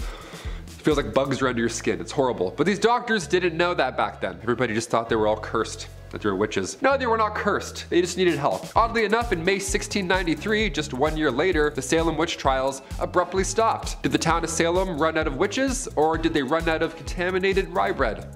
I vote the latter. I vote the latter, me personally. Number seven, Malin Matsdotter. Okay, sometimes in history, humans can be found guilty of practicing witchcraft. This is wild. This was like Imagine, imagine that today. I've mentioned Giles Corey on this list before, he's a brave soul, but we also have to mention Malin Matsdotter. She doesn't get the light as much as Giles does. It's one thing for a town to turn against you and call you a witch, but imagine family. That's exactly what happened to Malin Matsdotter. She was a Swedish widow, and her own daughter told everybody that she was a witch. She was the last victim of the Great Swedish Witch Hunt in 1676, also known as the Great Noise. Malin goes down in history because one, it was thankfully the last, one of the last, but two, she never admitted. Yeah, she didn't cry out in pain, she didn't beg for forgiveness. She said all this witchy nonsense was hogwash, and she stood by it too. What an OG. She was a champ, she was a badass. Her daughter was actually later found guilty of perjury, so Later, she met a similar fate. You know what I'm saying? What goes around, comes around. Like a witch flying on a broom in circles.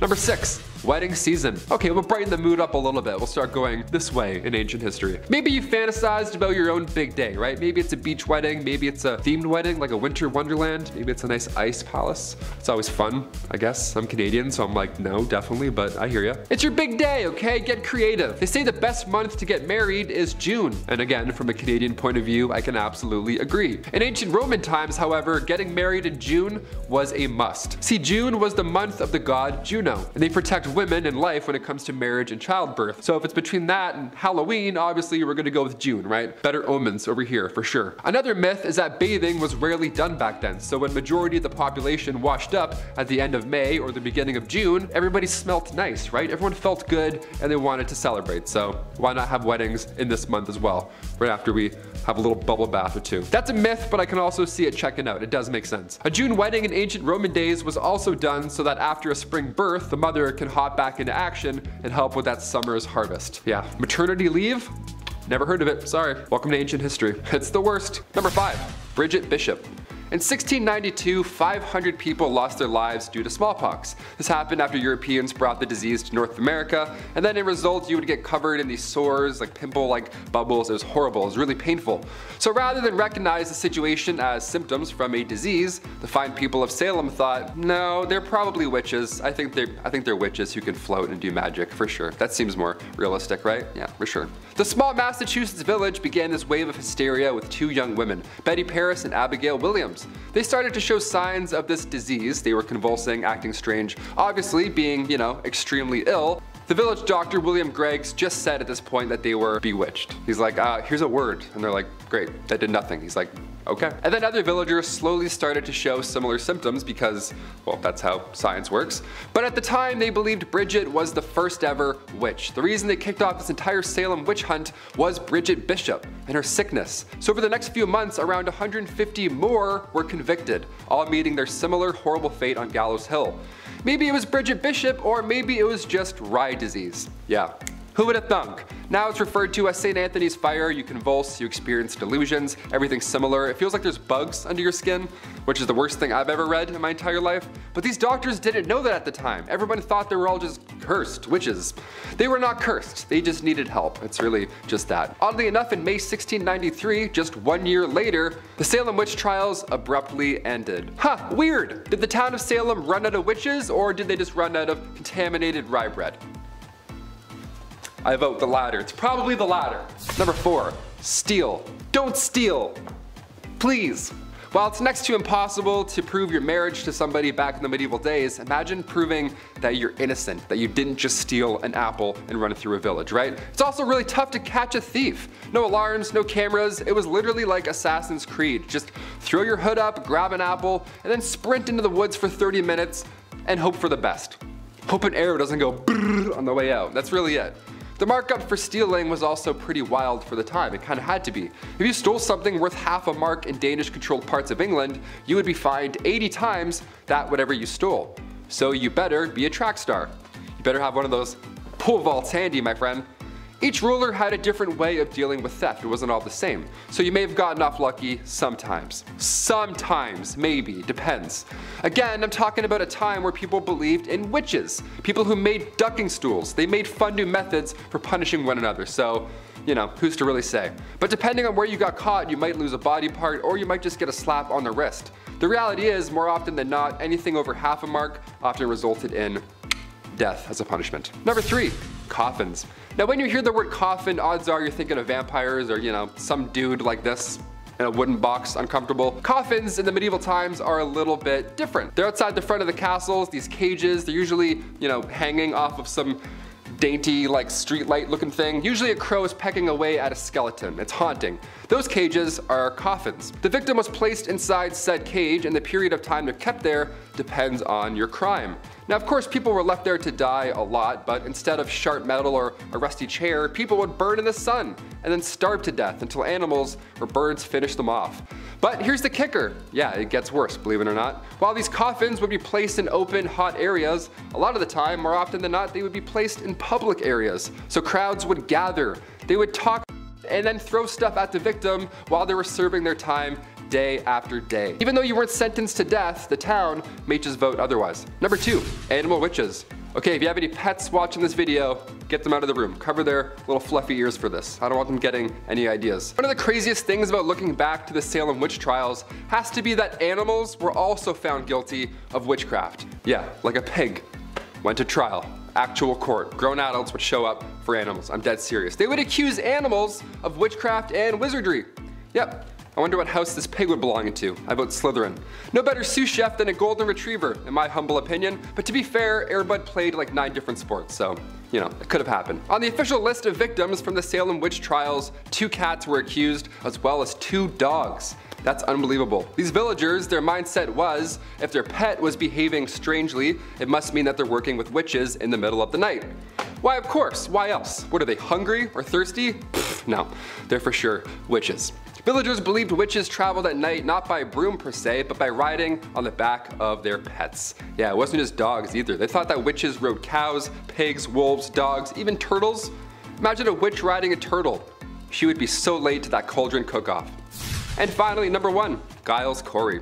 So after part one and now part two, we can safely conclude that the Salem witch trials were a bunch of bull yeah, a bit of a, a bit of bogus, I'd say. Out of the 27 people who had their lives taken away from them during the 1692 trials, 19 were hanged, 17 passed away in prison while serving their sentence, you know, being a witch and all. But the very last victim, Giles Corey, he refused to plead either innocence or guilty, and the law at the time states that you can't be tried otherwise. So they had to try and punish it out of Giles. They had to try and get him to confess so that they can take his land. Yeah, they used brutal measures as well. They laid a heavy board on top of the 81 year old Giles Corey, and then over the course of two days, boulders were slowly added, making the weight more and more unbearable. They were hoping at this point that Giles would admit something, but every time they asked him anything about being a witch, Giles responded with the same sentence. He just responded with, more weight. Yeah, keep them coming, he says. What a champ. After two days of this punishment, this excruciating pain, Corey did in fact pass away still in full possession of his estate, which then went to his son-in-law. Now, if he had been found guilty, the government would have taken that from him. So he sadly did the best thing he could have long-term for his family at this point, by not admitting. I mean, he had to deal with some of the dumbest and most cruel people that ever walked Salem. It's, it's pretty much just that, nothing to do with Giles or his choices. It's just, hey, check out how insane this town was. Yep, that's history. Number 10, Shin kicking. I mean, it's literally exactly what you think. You kick each other in the shins. A lot.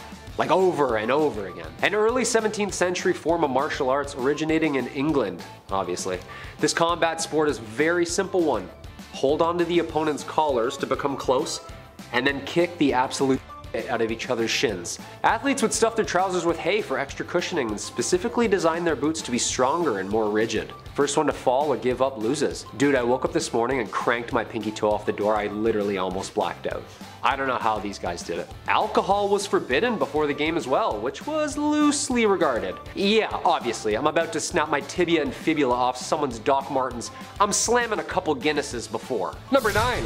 Chariot racing. Look, I'm still a new driver. Left-hand turns, they freak me out. I couldn't imagine chariot racing in any direction, even straight. No thank you. How do you even signal? Maybe? I don't know.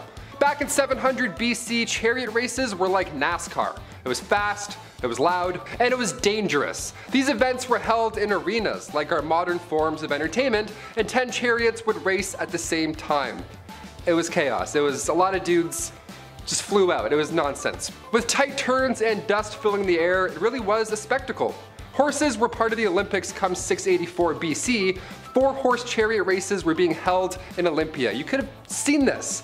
And then watch the guy jogging and you're like, oh, I, I like that a bit more. It's a bit more loud. I like that one. The riders, they were brave souls, man. The ropes were often attached to the riders' wrists so that if they went overboard, they immediately it was bad news for them. They were toast. Nobody's going out easy in the Coliseum, even when there's horses and nice things involved. Number eight, marathon running. We all know those runners who are up at five and get their mile. Who likes this stuff, man? Well, apparently the ancient Greek messenger Phidippides did. In fact, it was his job. Yeah, this guy would just like run place to place telling people stuff. The 42 kilometer foot race originating just shortly after the huge battle of Marathon. Ah, this is in fact where the sport gets its name from. Basically a bunch of guys showed up early and Buddy was like, yeah, you gotta run as fast as you possibly can from Marathon to Sparta and warn them. But that's like 42.195 kilometers away. Exactly! Remember, and run as fast as you can. No water belt, no gel packs, just panic and blisters. This Olympic sport needs no introduction. Just put some shoes on and go for a run yourself. Next time you're halfway through your warm up on the elliptical, just imagine the summer of 490 BC. Wouldn't it just been easier to just text them that they're coming? They are coming.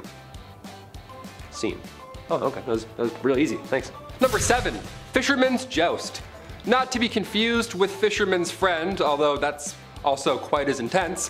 Fisherman's jousting, or water jousting, was a combat sport originated in ancient Egypt. Yeah, it goes way back. They invented beauty and also water jousting. That's pretty amazing. We love it. Keeping it, keeping it balanced. Each vessel would have a few players, players he says, and using one long pole per aquatic team, they have to poke and push the other players out of their vessel into the water. I'm pretty sure Kyle and I did this growing up with pool noodles. We'd ride inflatable alligators and just smack each other. We didn't even poke, it's like the loose noodle, right in the neck too is worse. You dip it, good night, that's it, you're off that alligator. Now, of course, it wasn't a spectacle like it was in ancient Egyptian days, but also may have not have been a game, turns out, yeah. Historians are still scratching their heads over this ancient hieroglyphic that appears to depict water jousting.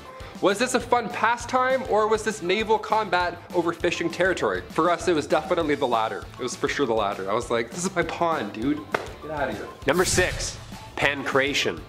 This vicious ancient Greek contest combines punching, kicking, and wrestling for an all-out physical combat. A mix of martial arts. Dude, this is literally UFC. And the tale of the tape. Are you ready? Are you ready? Let's fight! Big John McCarthy, of course, commentator on this fight tonight. Coming to you live from Las Vegas. This is literally UFC, people. You win by either knocking your opponent unconscious or by making them give up. Buddy, Patroclus has me in a flying armbar. I'm letting all of Greece down with that tap. Okay, okay! Much like modern day combat rules, there was no biting allowed or eye gouging. I can't stop thinking about not only the brutality of the fighters themselves, but the fans. Thousands of years of crowds showing up to chant and cheer on their favorite warrior, just a spinning axe kick another right in the face. I love it. Number five, Agnes Sampson. And now back to the dark stuff. This one's not as great. Turning the clocks now to 30 years after Mother Shipton, the general public isn't always so easy when it comes to clairvoyance. So around 1590, when King James VI, when he was ruling Scotland, this was an important time because the lovely Anne of Denmark Norway, his wife, she was very much opposed to black magic or all that voodoo. She wasn't on board at all. During one commute back to Scotland, for example, the couple barely made it through a fierce storm. So King James VI, he was now convinced, because of of his wife that the storms were an outcome of black magic. Yeah, a witch cursed their commute. All because of a storm, they thought this, imagine that. So they charged one Agnes Sampson. The king and the queen all believed that these witches attended a coven on Halloween night and that's what happened with their commute. So she was held prisoner until she confessed. And then at that point, she finally met her horrible fate. Her nonsensical, horrible fate. Number four, plague bearer. Okay, if you think your job sucks, Hear me out. The hot summer of July 1665. Okay, what do we do with all these poor souls who have been hit by said plague during the Dark Ages? You can't just hide them all in the catacombs this time, right? We can't just hide them in a random place. We don't have that. So a plague bearer is the person that you need. Church wardens would organize burials. This was a normal thing back in the 1600s, but when the plague hit, they had to change things up a bit. Now things were a little bit dangerous. If somebody had the plague, these guys would be responsible for transporting them far, far away and then burying them plague bearers. That's crazy. A church would then house these plagued souls far away from society. How grim is that? All because you got sick. But I mean, that's probably a good thing, all things considered, you know? Is anything we learned in the past couple years, it's like, oh yeah, things uh, spread. Just a little bit, including misinformation. Haha. Number three, medieval barbers. A barber from the Middle Ages. Yeah, that title alone gives me the chills. If I have a toothache, I'm telling no one. That appointment's gonna suck, okay? Cavity, toothache, maybe you accidentally bit a rock, chipped the tooth, whatever. They would only pull it. Worst case, best case, your teeth are getting pulled no matter what. Yeah, barbers were responsible for cutting hair, pulling teeth, and bloodletting. The classic three-in-one appointment. Get it all done in 40 minutes or less. There you go. Keep the change, good sir, and a thing of ale. There you go. Get drunk, pull my teeth. Middle Ages. Back in the 1500s, patients were walking in with an arrow sticking out of them, right? Instead of cutting the tip off and then pulling it the opposite way, the arrow remover would cut into the injury, open it more, which would suck, and then it would hold it open. And then the barber would come in and then pull it out in his own barber way. Whatever his qualifications were, didn't really matter. He was a barber, he was also pulling arrows out of your back. So you would go in for a toothache and then you would leave with an amputated foot. You never know. Medieval barbers sucked all the time. Number two, the ducking stool. This next one requires so much effort, I can't believe this was a real thing that real people did. The ducking stool was made to punish women involved in sexual activities. How dare they? How dare thou? Men were punished too, but if we know anything about history, it was mostly women who had to put up with all of this there was the first standard ducking stool, so women would have to, you know, sit in this chair, strap themselves down while sitting outside their houses or, you know, whatever. They get carried down the street. Humiliation at its finest. That was the main key here, where you'd, you know, come out and go, shame, shame for 46 minutes and then go back inside. That was your day back in medieval times. They had sex. Can you believe that? It's disgusting. Let's take the day off work and embarrass them and make signs. The second version of the ducking stool was essentially the same thing, only it was then dunked into a river over and over again to cool her immoderate heat. Yeah, we gotta cool these witches down. Great. I wonder where all these people, like, did they not realize where they came from? This is the dumbest At least that's what French writer Francois Maximilien Misson says. They should cool off all of those angry villagers instead. They should dip them in the river. They're the ones burning with rage because somebody over here is getting some and they're not. Number one, meowing nuns. If I'm not gonna talk about this one now, then I'm not sure when I'll get the chance to talk about it again. Back in the Middle Ages, a group of nuns were doing their, you know, COVID nun thing, as so many people did apparently back in. And this was odd in the Middle Ages because these nuns would have meowing sessions. Yeah, they wouldn't curse individuals, they wouldn't curse any long sea voyages. No, they would just gather around and meow all at the same time. The French convent, large might I add, many of nuns here, they would spend hours meowing like in sync. They'd be like, meow. It would annoy nearby civilians so much that eventually soldiers had to come in and just beg them to stop. They're like, please stop meowing. I don't know why you're meowing, but please stop. For most of these cases, most likely not witchcraft. This one here with the meowing nuns, I don't know. I think that was actually, something was afoot. That was actually a curse. Either that or it's the greatest prank in history. Either way, we have to finish on a nice happier note, dare I say. Number 10, hotel speed. Okay, picture this. You're young and in a hotel with your parents. Maybe it's a vacation, maybe it's a trip, or maybe it's a hockey game. Nice. Nonetheless, you find yourself in a long hallway with a strange looking carpet. Hotel hallways always have weird carpets, I don't know.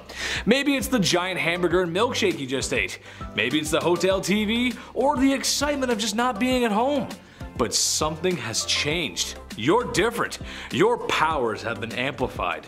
For this corridor will be your personal racetrack. A shame Guinness World Records isn't here to clock you in at max speed because for some reason if you fly down that hallway any faster, the rug would catch fire. Yes, the joys of running down a hotel hallway. This is probably how the first Olympians felt at the first Olympic Games. I'm comparing it to that for some reason, sure we'll go with it. Where the only event at these Olympic Games was running. Like many of the other events that would later come later on, this was done without clothing, which is fine. As long as you're, you know, not doing that in the hotel hallway. Keep clothes on. Number 9. WWE, brother. Only if you could have seen the look on my face when I discovered that wrestling in the WWE isn't as real as I thought it was. The shock, the confusion, and the loud ringing in my ear. It really, it was pretty serious for me. I got really into it as a kid. Gave me some Vietnam flashbacks, seriously. You mean to tell me that there was an intricate planning into every hidden fall, every entrance, and every time we heard the sound of a steel chair connecting with someone's forehead? Oh man. As a kid, I never would have guessed that, but when The Undertaker walks in a room, you take notice. Those thoughts just go away. Sadly, the ancient Greeks did not have cage matches, turnbuckles, or personas based on hyper male confidence.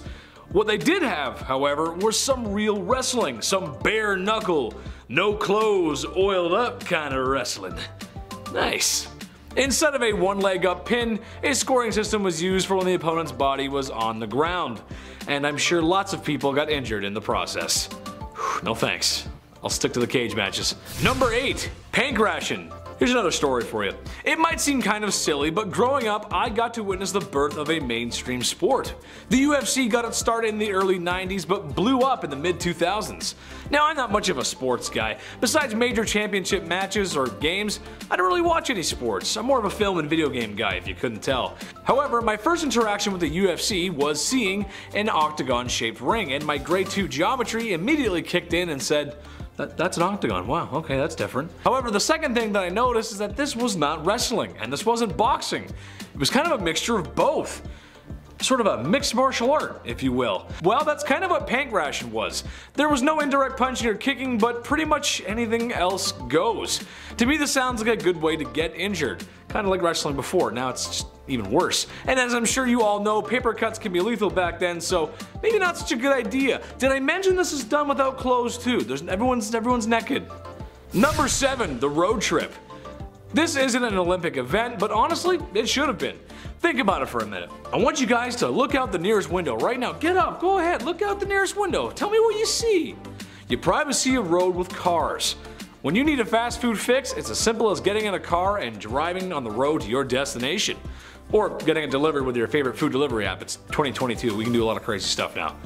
What I'm getting at is that people from all over the Greek city-states came to Olympia to witness the first Olympics.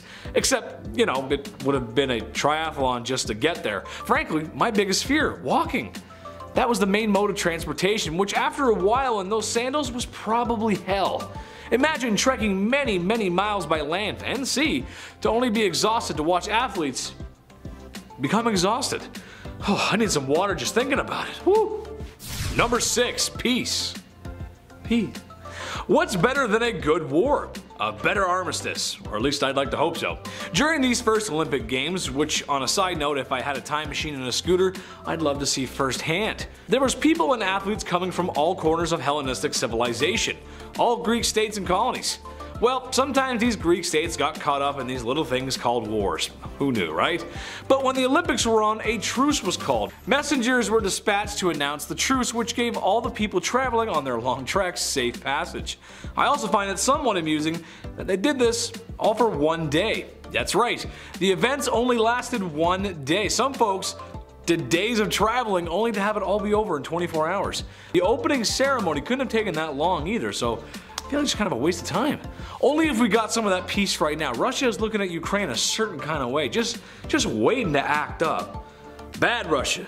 Stay in your corner. Number 5. Hysteria. Okay, so what's the first thing people are gonna do when the skies turn to ash and crops perish and it's cold?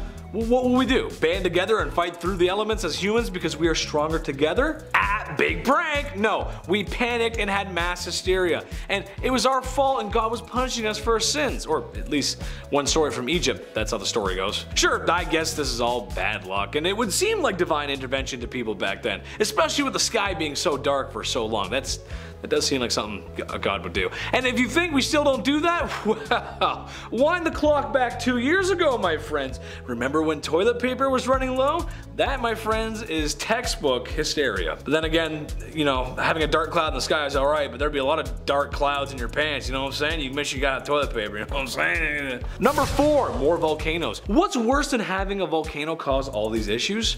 More volcano eruptions, yeah, let's go! Yep, again, no one is sure if there was a specific one that was causing all the issues, but evidence in Iceland suggests that there were at least two volcanic eruptions. There's other evidence that suggests it could have been all the way in El Salvador and even North America. A lot of folks just don't realize how catastrophic volcanoes can be, but if you ask somebody in Pompeii, they would tell you. These extra eruptions plunged the earth into what is sometimes called the tiny ice age, as temperatures severely dropped. Well, a couple, a couple degrees can make a big difference. It sounds bad, but a couple degrees can. All I'm gonna say is that comedy comes in threes. I'm surprised there wasn't a third eruption. Why is the ground shaking? Number 3. Romulus Phallus. 536. This awful, no good, very bad year likely sealed the fate of the Roman Empire. For a while she had been in decline, and her capital had already moved east. But like a lot of washed up sober music stars of the 80s, it was time for one more tour. One last hurrah to capture glory in a bottle. Well, go ahead and look at the map of Europe right now. I'll give you a second. Go ahead, sure, look at it. You see that? Yeah, there's no Roman Empire, is there? No. That's because the year 536 was full of disease, war, and uprisings. Pesky uprisings. Ugh, those are the worst. How, how's, a, how's a dictator supposed to rule without those? Come on. In the year 541, an estimated 30% of the Byzantine Empire had perished from the plague. That's not good. You gotta have the population there. That's bad. Number two, Moche trouble. The Moche were a civilization in what is now Peru. That's right, there were troubles back there too. It's not all just Europe. They were extremely dominant of that area, masters of irrigation and fishermen. They made their food stockpiles big, and they were a force to be reckoned with. Had a pretty decent economy too. Well, due to some weather changes in the area, the water temperature rose. Ooh, too much. The fish that the Moche relied on for food and economy were now gone. And when you're a single industry empire and that industry goes away, well, well, it's gonna hurt. This led to massive starvation in the Moche. Funny enough, all this climate change in the Saudi Arabian Peninsula, I know we're jumping all over the place here, but it was good. The climate was okay. They saw more rainfall, allowing for better crops which allowed them to, to, bring more camels. More camels means more soldiers. More soldiers means more conquering. It's crazy how it works like that. So I guess it just depends where you live.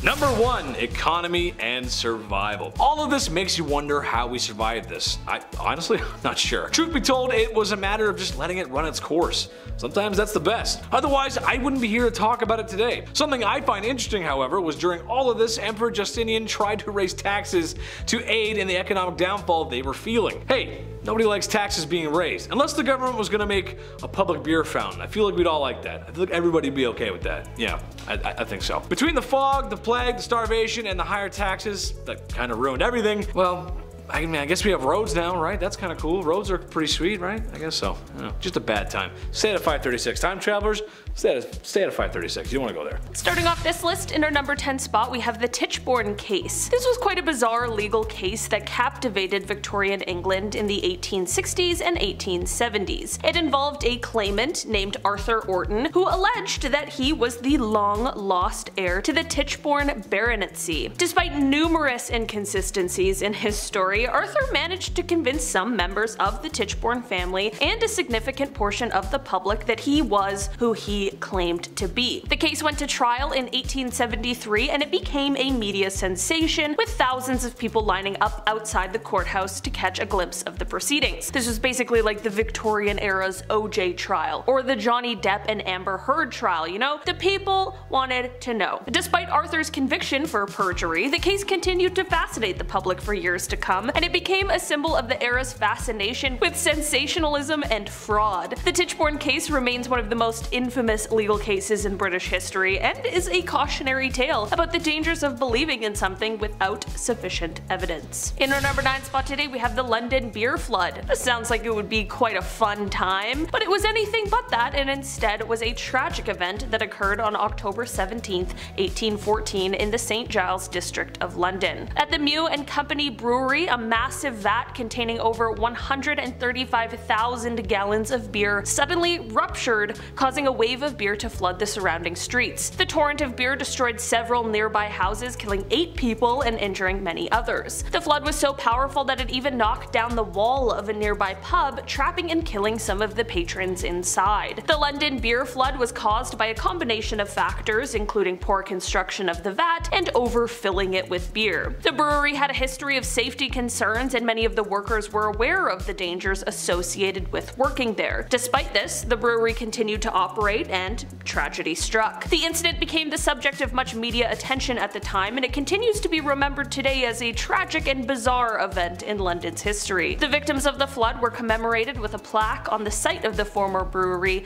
and the incident has been the subject of numerous articles, books, and even a stage play. Not sure the logistics of that one though. In our number 8 spot today we have the Victorian bicycle craze. This is a name to refer to a period of intense enthusiasm for bicycles that swept across Europe and North America in the late 19th century. The introduction of the safety bicycle with its chain-driven mechanism and rubber tires made cycling a much more accessible activity for the general public.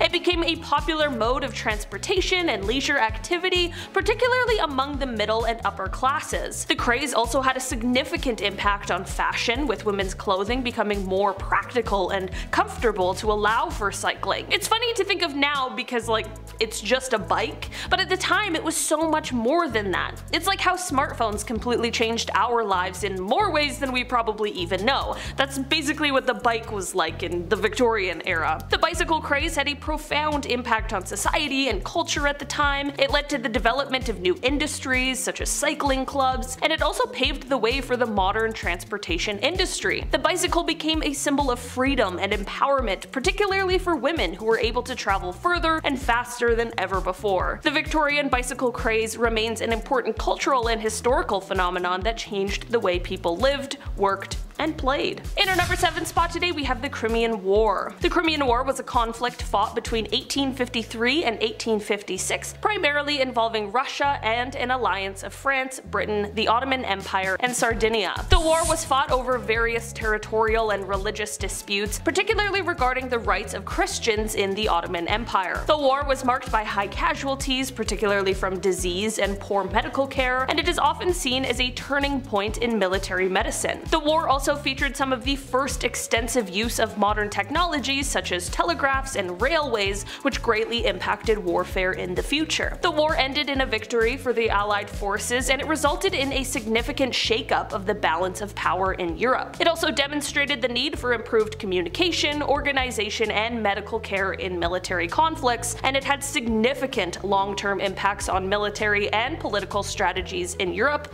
and beyond. In our number 6 spot today we have the East End outbreak. The East End outbreak was an outbreak of cholera in 1866 and was a major epidemic that struck the densely populated area of East London, causing widespread illness and death. Cholera is a highly contagious disease that spreads through contaminated water, and in the Victorian era, London's water supply was notoriously unsanitary. The outbreak was particularly devastating in the East End, where poverty and overcrowding made residents more vulnerable to disease. The outbreak led to significant changes in public health policy and infrastructure, as well as increased public awareness of the importance of sanitation and hygiene. The physician John Snow, which, you know, feels like a weird name to say when I'm not talking about Game of Thrones, but the physician John Snow played a key role in identifying the source of the outbreak, tracing it to a contaminated water pump on Broad Street. His work really paved the way for the development of modern epidemiology and disease prevention. The East End cholera outbreak remains a significant event in the history of public health and the struggle for social justice. It brought attention to the urgent need for clean water and adequate sanitation, and it helped to spur reforms that improved the health and well-being of people in urban areas. Number 5. Best Man Origins. I got asked to be a best man recently, so you know what? I have to share some,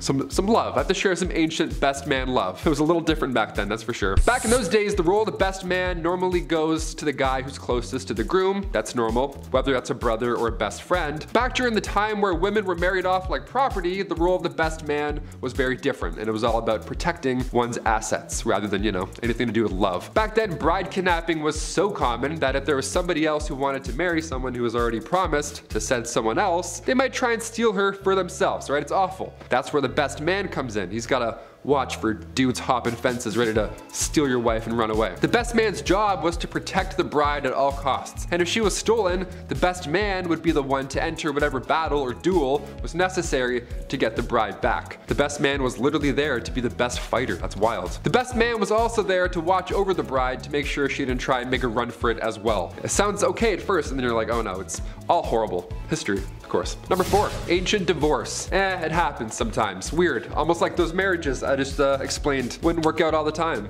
Weird. Trial by combat. You've probably heard of this, right? We've all seen that Game of Thrones episode. The eyes and the, That's a good one. That was the norm, right? You fight for your freedom. But what about divorce by combat? You ever heard of this? If you and your significant other weren't getting along back in the dark ages, instead of dishing out thousands on couples therapy and signing all that paperwork, instead you would battle each other in front of a crowd because why not? It's the medieval times. It was an organized event that included restrictions for the husband. Now it's pretty hilarious to think back on, but the husband would have to stand in a hole with one hand tied behind his back, while the wife, soon to be happy ex-wife, ran around in circles around said hole, also carrying a sack full of rocks, hitting the ex-husband with the rocks the whole time. Yeah. Pretty intense and also pretty hilarious to think of. Yeah, that's why you don't cheat in the dark ages, Lancelot. Get out of here. A sack of rocks? Just take the castle, take the horse. I don't care, I'm out. I'll sign anything. I'll stamp anything. Number three, the Battle of the Stray Dog. Okay, now we're gonna go back into some weird battles that we probably missed in school. I grew up with dogs my whole life, okay? It's stressful at times. You open the door for a second,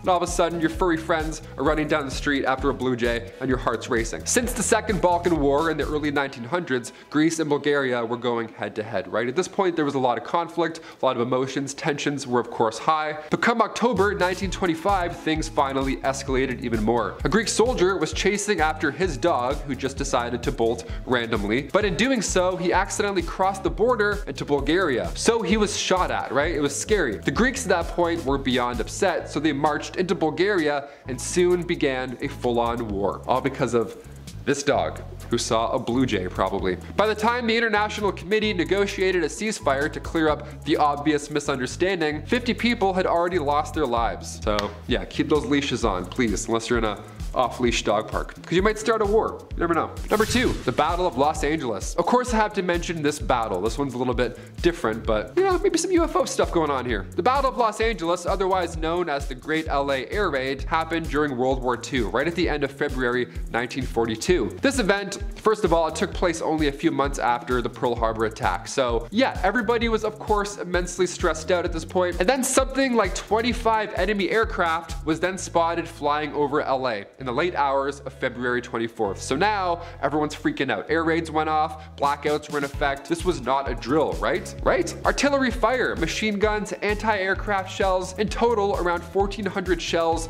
were all fired off. Two people had heart attacks. Five people died in total from this retaliation, and it was all a false alarm. Yep, a press conference was held by the Secretary of the Navy, Frank Knox, and he called the incident war nerves. Yeah, huh, oops, thought I heard a noise, my bad, we'll just close that. No one touches anymore, I guess. War nerves. And finally, number one, Battle of Zappolino. This one is pretty epic, okay? All over a bucket. Turning the calendars back to 1325, the Battle of Zappolino, it was a large scale event all over a tiny bucket. And no, I'm not joking. The War of the Oaken Bucket. Now this war consisted of two Italian towns, Bologna and Modena. Now it all kicked off when soldiers from Modena snuck into Bologna with intentions to steal. To steal the wooden bucket from the city's well right? Resources were sparse back then, of course, so the Bolognese declared war, and then they sent in an invading force of 30,000 foot soldiers and 2,000 cavaliers. The city of Modena had a smaller army, they had 500 infantrymen and only 2,000 cavalry forces, but the thing is, those guys still won. They chased the larger army back to Bologna while destroying towns in the process. Now some recall them bringing the bucket back just to taunt the city, but right now the bucket is currently on display still in Modena. So it ended up finding its forever home there. And you can go check it out if you want. That many people kicked the bucket over this bucket. History is strange, my friend. Number 10, Decemviri, the law of 12 tables. Well, actually the word means 10. 10 men, actually. Those special 10 would be the appointed men who would consider themselves the first ever lawmakers. The earliest attempts to create a code of law was the Law of 12 Tables. A commission of 10 men, or also known as the Decemviri, was appointed 455 BC to draw up a code of law-binding rules on both patrician and plebeian, which would be strictly enforced. Some of these laws included simple laws like you don't break your word. If the army or king calls on you, you gotta go. And of course, if you hit or hurt someone, you get hit or hurt back. And you owe us some money. This system was the first in its place, holding people responsible for the things that they did and said in Rome. Strategic, fundamental, and important laws like, hey, hey, hey, no crying at funerals, alright? You burn my corn, I'm gonna burn your corn, and I get to burn you. And yeah, no meetings at night. It, it's dark. Okay, so they missed their mark on a couple of them, but a couple of those laws still stuck around. Number 9. Field surgery. The Romans were fierce on the battlefield, but they were also extremely handy. Who would have thought? This was the first time in history where quick surgeries were performed on the battlefield under the leadership of Augustus. Not Augustus Mayhew, it's a different Augustus, but he's also really helpful, like one time a year. Ancient Roman medics invented hemostatic tourniquets and surgical clamps. Yeah, guy invented clamps. Imagine that on a resume. Roman field doctors would also perform physicals on new warriors. Yeah, they would also combat the spread of disease. Although they were going to war and were constantly being patched up, the Roman military would often live longer than the average folk. Because these military men were constantly being disinfected. They were checking their camps all day. Masks are hard in 2020, but the Romans were disinfecting the Colosseum. Nice, we'll get there one day. Maybe, maybe. Number 8. The name Rome. We kinda got into this a little bit about those brothers Remus and Romulus. This barbaric history is loose and from many sources, so I'm gonna kinda sum it up into broad statements. Two brothers, didn't like each other, kept fighting, raised by a wolf and a bird. That's pretty much it. We have seen what these two have looked like. Every statue and painting of these two is always like one of them stone cold Steve Austining the other one. One built a wall and the other mocked him and jumped over that wall and then there is only one.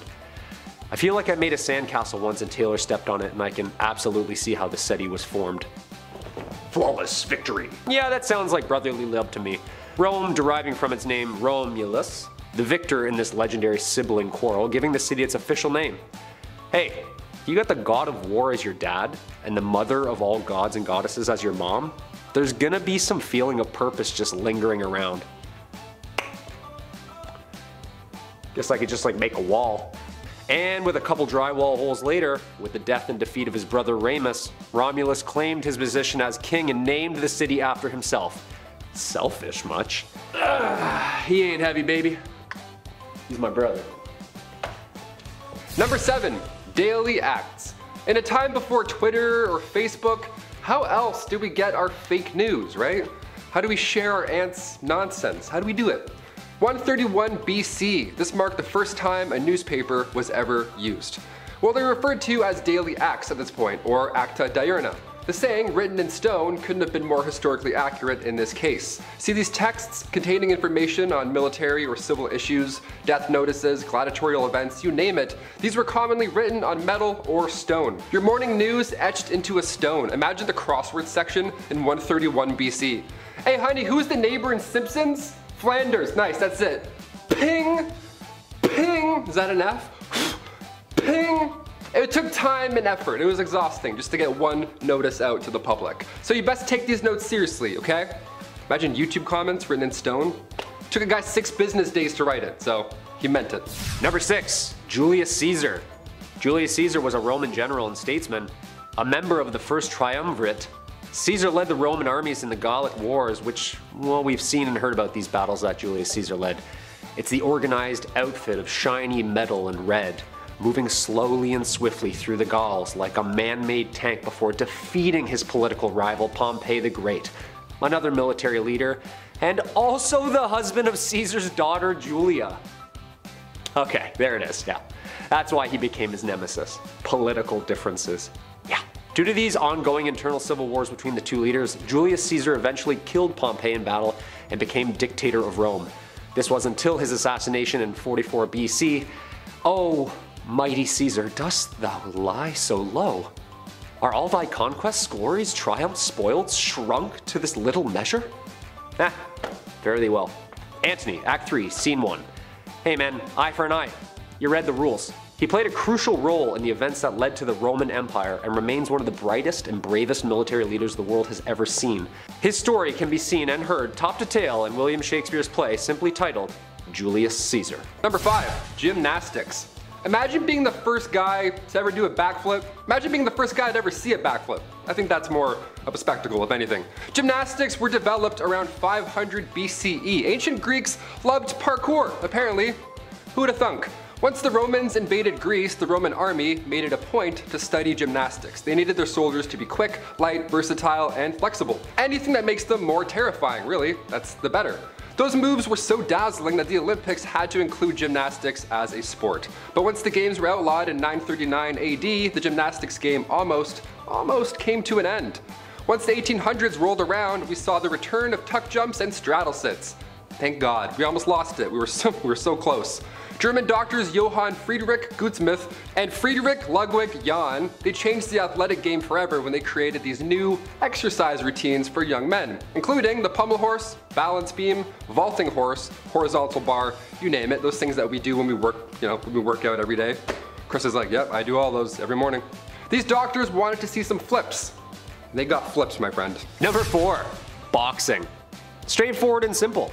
This ancient sport is depicted from hieroglyphics and tombs of Egypt all the way to the wall carvings of ancient Sumer.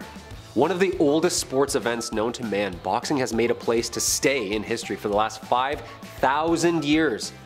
The Greeks made this form of brutality into a spectacle by wrapping their hands with leather straps lined with metal to either knock their opponents unconscious or even death. Oh, oh okay, you wrap that under... Okay, how do you play ref? Oh, you just punch each other right in the face until there's just one of us. Got it. Weighing in at 145 pounds with a reach across of 71 inches in the blue trunks, Patroclus Angelopoulos. No mouth guards, no rounds, just punchy punchy and sleepy sleepy. I don't know why I'm still doing this voice. I don't know. Number three, Viking hockey. Being a Canadian and all, this one, oh, this one hit, this one hurt. Buckle up lads, turns out Canadians did not invent hockey. Yeah, we found out during Canada's 150th celebration of all times. We're like, what? Yeah, we found out hockey wasn't so Canadian after all. It was Vikings. Who knew? They actually brought it here in the first place. They also didn't call it hockey either. They called it a way better name. Slap fatten. Go slap some fat around with the boys. Oh yeah, me and the boys are gonna grab some Timmies and go play some road slap fatten. Yeah, instead of yelling car, they just yell R, and then they keep playing. They're like, no, turn around, go back slap some fat in your car. Vikings would gather sticks and, of course, some fat, and then they would slap them in between two posts. They would just make two posts. Here or here, doesn't matter. They'd make the rules up. Imagine getting cross-checked by a Viking. See you later, chest plate. Non-existent anymore. Offside. Number two, long jump. The long jump, originating in 656 Greece, was an Olympic sport consisting of simply hurling your body over a vast distance of horizontal space. Usually these spaces would include streams, bogs, or ravines. This ancient sport differs from the modern long jump of course, just a tad. And of course long jump wouldn't be long jump without the flute music. That's right, this sport was always accompanied by a flutist since music was a very important part of the spectacle of the ancient Olympic Games. Hey man, can you play Jump by Van Halen? Just kind of gets no? Okay, you don't know that one? No worries. Back then, the Olympians would hold weights in both of their hands, either one, two, or five kilogram carved stones. Almost like kettlebells to help them swing momentum after their initial run up. I love that the times are either something really safe and fun like swimming or jumping, and then you're like standing next to an athlete during the anthem whose job it is to literally break people. Uh, yeah, I'm a jumper. Oh, you're a fighter. Yeah, yeah I, uh, I jump. So, Nice, man. Break a leg out there. No, no, no, it's not what I meant. And finally, number one, no rules football. Personal favorite, always gotta bring this one up. This is so scary. I've never played a game of rugby. I don't even know. I don't want any part of this. Sport fans are a bit much. I'll start by saying that. The whole yelling at the TV thing, unless I'm seeing the Green Goblin, I'm not yelling at any TV screen ever, period. But sportsmanship goes back, way back. Football was also a lot different in the late 12th century. See, instead of quarter kicks and throw-ins, you could do anything you wanted to retrieve said ball from the opposing team. Anything, like, you know, what we were mentioning earlier, you can just do that and just knock someone out and take their stuff. Also, there's no limit to how many players you had on your side. You can grab thousands, hundreds, whatever, you name it. It would be town versus town. It was hilarious. They called this a sport. But finally, come 1314, King Edward II banned the game. Obviously, people were dying for no reason. The only time diving was allowed was back in this game. I can, that's acceptable. When you would get kicked in the neck by a knight on a horse, more than fair. I'd say stay down if I were you, for sure. I would act. I'd be like, oh, my neck, what? See ya. Two minutes in, I'm out of the game. I can't even play football today, let alone football in the dark ages. What a joke. My back already hurts from this. Number 10, President Edith Wilson. In the year 1919, President Woodrow Wilson experienced a severe stroke that greatly impacted his abilities. However, instead of publicly disclosing this information, this very personal information, the government chose to maintain secrecy, believing that it was in the best interest of the nation. Now, what happened next was pretty amazing. The public remained unaware of Wilson's stroke for several months, but during this time, Edith Wilson took on a significant role in making executive decisions on his behalf. So in retrospect, historians now acknowledge that Mrs. Wilson effectively assumed the role of one US president for the remainder of Wilson's term. This remarkable circumstance highlights the fact that a woman, Edith Wilson, effectively held the reins of the country's leadership through the year 1920, which is amazing. We don't talk about that nearly enough. Number 9. Stay thirsty. On January 16, 1920, the 18th Amendment to the Constitution of the United States came into effect, initiating the era known as the Prohibition. This was a sad one. This was a pretty Pretty lousy one right here. This amendment outlawed the sale of booze, leading to the closure of taverns, bars, saloons, every fun place that you can meet people and have a good time, all shut down, as well as the removal of liquor from store shelves. However, despite the ban on sales, it's important to note that the amendment did not criminalize the act of drinking alcohol itself. So if you just found it, you were good. So it comes to no surprise that the consumption of alcohol persisted, probably even more so, but at that point it was driven into an underground market dominated by criminal figures like like Al Capone. That was until the amendment's repeal in 1933. Number 8. Olympic flag debut. During the 1920 Summer Olympics held in Belgium, a significant symbol of unity was introduced to the world. High jump. No, I'm just kidding. The Olympic flag in its current form. It consisted of five interlocking rings, and these rings were chosen to represent the harmonious connection between continents and nations, and this was following the aftermath of World War I. They're like, I got it. A nice flag, but also high jump. Please high jump. The event also witnessed the release of doves. How beautiful is that? This is a powerful symbol of peace, further emphasizing this desire, this dream for global harmony in the form of high jump.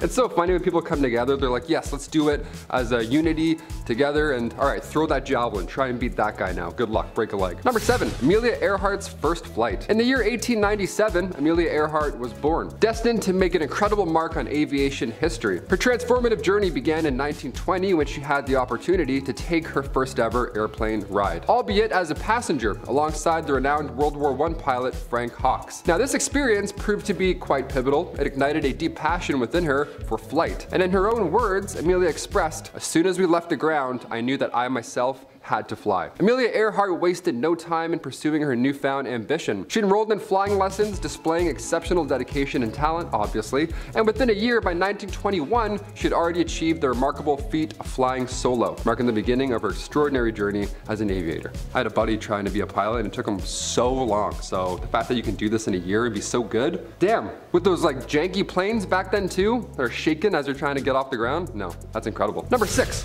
Alexander Fleming. In September 19 1928, Alexander Fleming, already a successful microbiologist at the time, just stumbled upon his greatest discovery entirely by chance. Must be nice. He's like, oh, we changed the world. Look at that. Upon returning to his laboratory after a well-deserved break, he observed some culture plates containing staphylococci that had become contaminated with mold. And to his surprise, he noticed that the area surrounding this mold remained clear, indicating that it possessed a unique effect on said bacteria. Dubbing the strain penicillin, we love that, it's a pretty good one. Fleming and his assistants embarked on a series of tests that would forever revolutionize field of medicine. I'm like, thank you so much. Thank you, Alexander, for just looking down. That's so great. This accidental finding was hailed as the single greatest achievement in combating diseases, leading to the dawn of the antibiotic age. Again, we love that, especially today. We're like, yes, keep that up. Let's keep that science up, please. Number five, tanks. Okay, so after a few Olympics, people got tired of walking those many, many miles just to see some dudes run a mile. We need more events, said the Olympic organizers, but what? We have athletes running, what else is there? Okay, okay, I hear you. What if we get athletes to run, but with full military armor and gear on? Yeah, that's right. There was another race where athletes would wield the armor of the Greek soldiers and race. I can imagine that there was a clunking noise, or at least a lot of it, and also how difficult it must be to run in bronze armor. I'm gonna let you guys in on a little secret. Come a little closer. A little closer. A little closer. Whoa, too close. Bronze armor isn't good for chafing. Because let me tell you something, hot Mediterranean sun, not a lot of water, and running in hot metal attire? Someone's gonna have to come over and put baby powder on my bum bum. Number four, the classic. I don't know why, but when I think of ancient Greeks, I think of grapes on the vine, marble, chariots, and, and the movie 300. It's, it's kind of hard to forget those spray on abs. Although someone could put them on me, kind of nice. Equestrian events were another event of the ancient Greek Olympics, and I have something nice to say about something for once. While every other event was dominated by males because, well, only males were allowed to compete of course, the equestrian events allowed women Nice! And naturally, ladies, when someone points the spotlight on you, you shine. A notable winner of the event was Sinisica, a Spartan princess and athlete who was an excellent horse breeder. I guess that's a nice thing to be remembered by. According to some records, two monuments were built in honor of her victory. I rode a horse once. I can firmly say that I prefer the automobile. Just saying. You walk around like that, that's why all the cowboys walk like this. You just do that all that. Number three, the long jump. After running and running in armor, it was discovered that jumping makes for a great Olympic event. How high? How far? It's simple, really. It should come as no surprise that I did not perform well in that section of track and field day at school. To my disadvantage, there was no strength-based events because it was considered unhealthy for us because we were so young. Yeah, I wasn't sure about that. My counter to that argument would be, why are you making tubby kids run the 1500 meter? That's liable to have the kid with asthma writing his math test in the hospital bed later. I'd probably be joining him. However, I am a supporter of the ancient Greek jumping event. Basically, athletes gotta jump as far as they can whilst holding two large rocks. Now, if we did that today, people would know what it's like to do a long jump when grandma feeds you too much. Yeah, it's not easy. Number 2. The discus, the javelin, and the hammer. Sounds like a good band. Hey, these are all events that we still compete in today. That's awesome. But doesn't it make you nervous when the athletes are throwing those bad boys around? Especially the hammer throw. God, it just makes me so nervous. While I couldn't find an exact example of an accident happening, I doubt the ancient Greeks had safety in mind for spectators. The discus was made from stone or bronze, and they were tossing those suckers the same way Guy Fieri tosses Caesar salad which is a lot because he's kind of a big guy too. However, for me, it's the javelin that's most terrifying, as that was an appropriate weapon of war for the time, and athletes are just throwing them around like it's nothing. You're telling me the crowd was a safe distance away from the splash zone? Yeah, just keep your eye in the sky to be safe, folks. I don't know about that. Number one, rap battle. Honestly, this is something we should bring back to the Olympics. While I was complaining about not being able to compete in strength-based events earlier, I, as a theater kid, would have much preferred some of the other less intensive events the ancient Greeks had up to offer. The ancient Greeks were not just chucking stones and chafing in bronze armor. There was also a competition with the arts. Poetry, song, and singing. Imagine if America entered Eminem into a rap battle contest there would be no contest. Imagine if Canada entered one for musicians. k.d. lang, Celine Dion, oh, and Anne Murray just singing angels.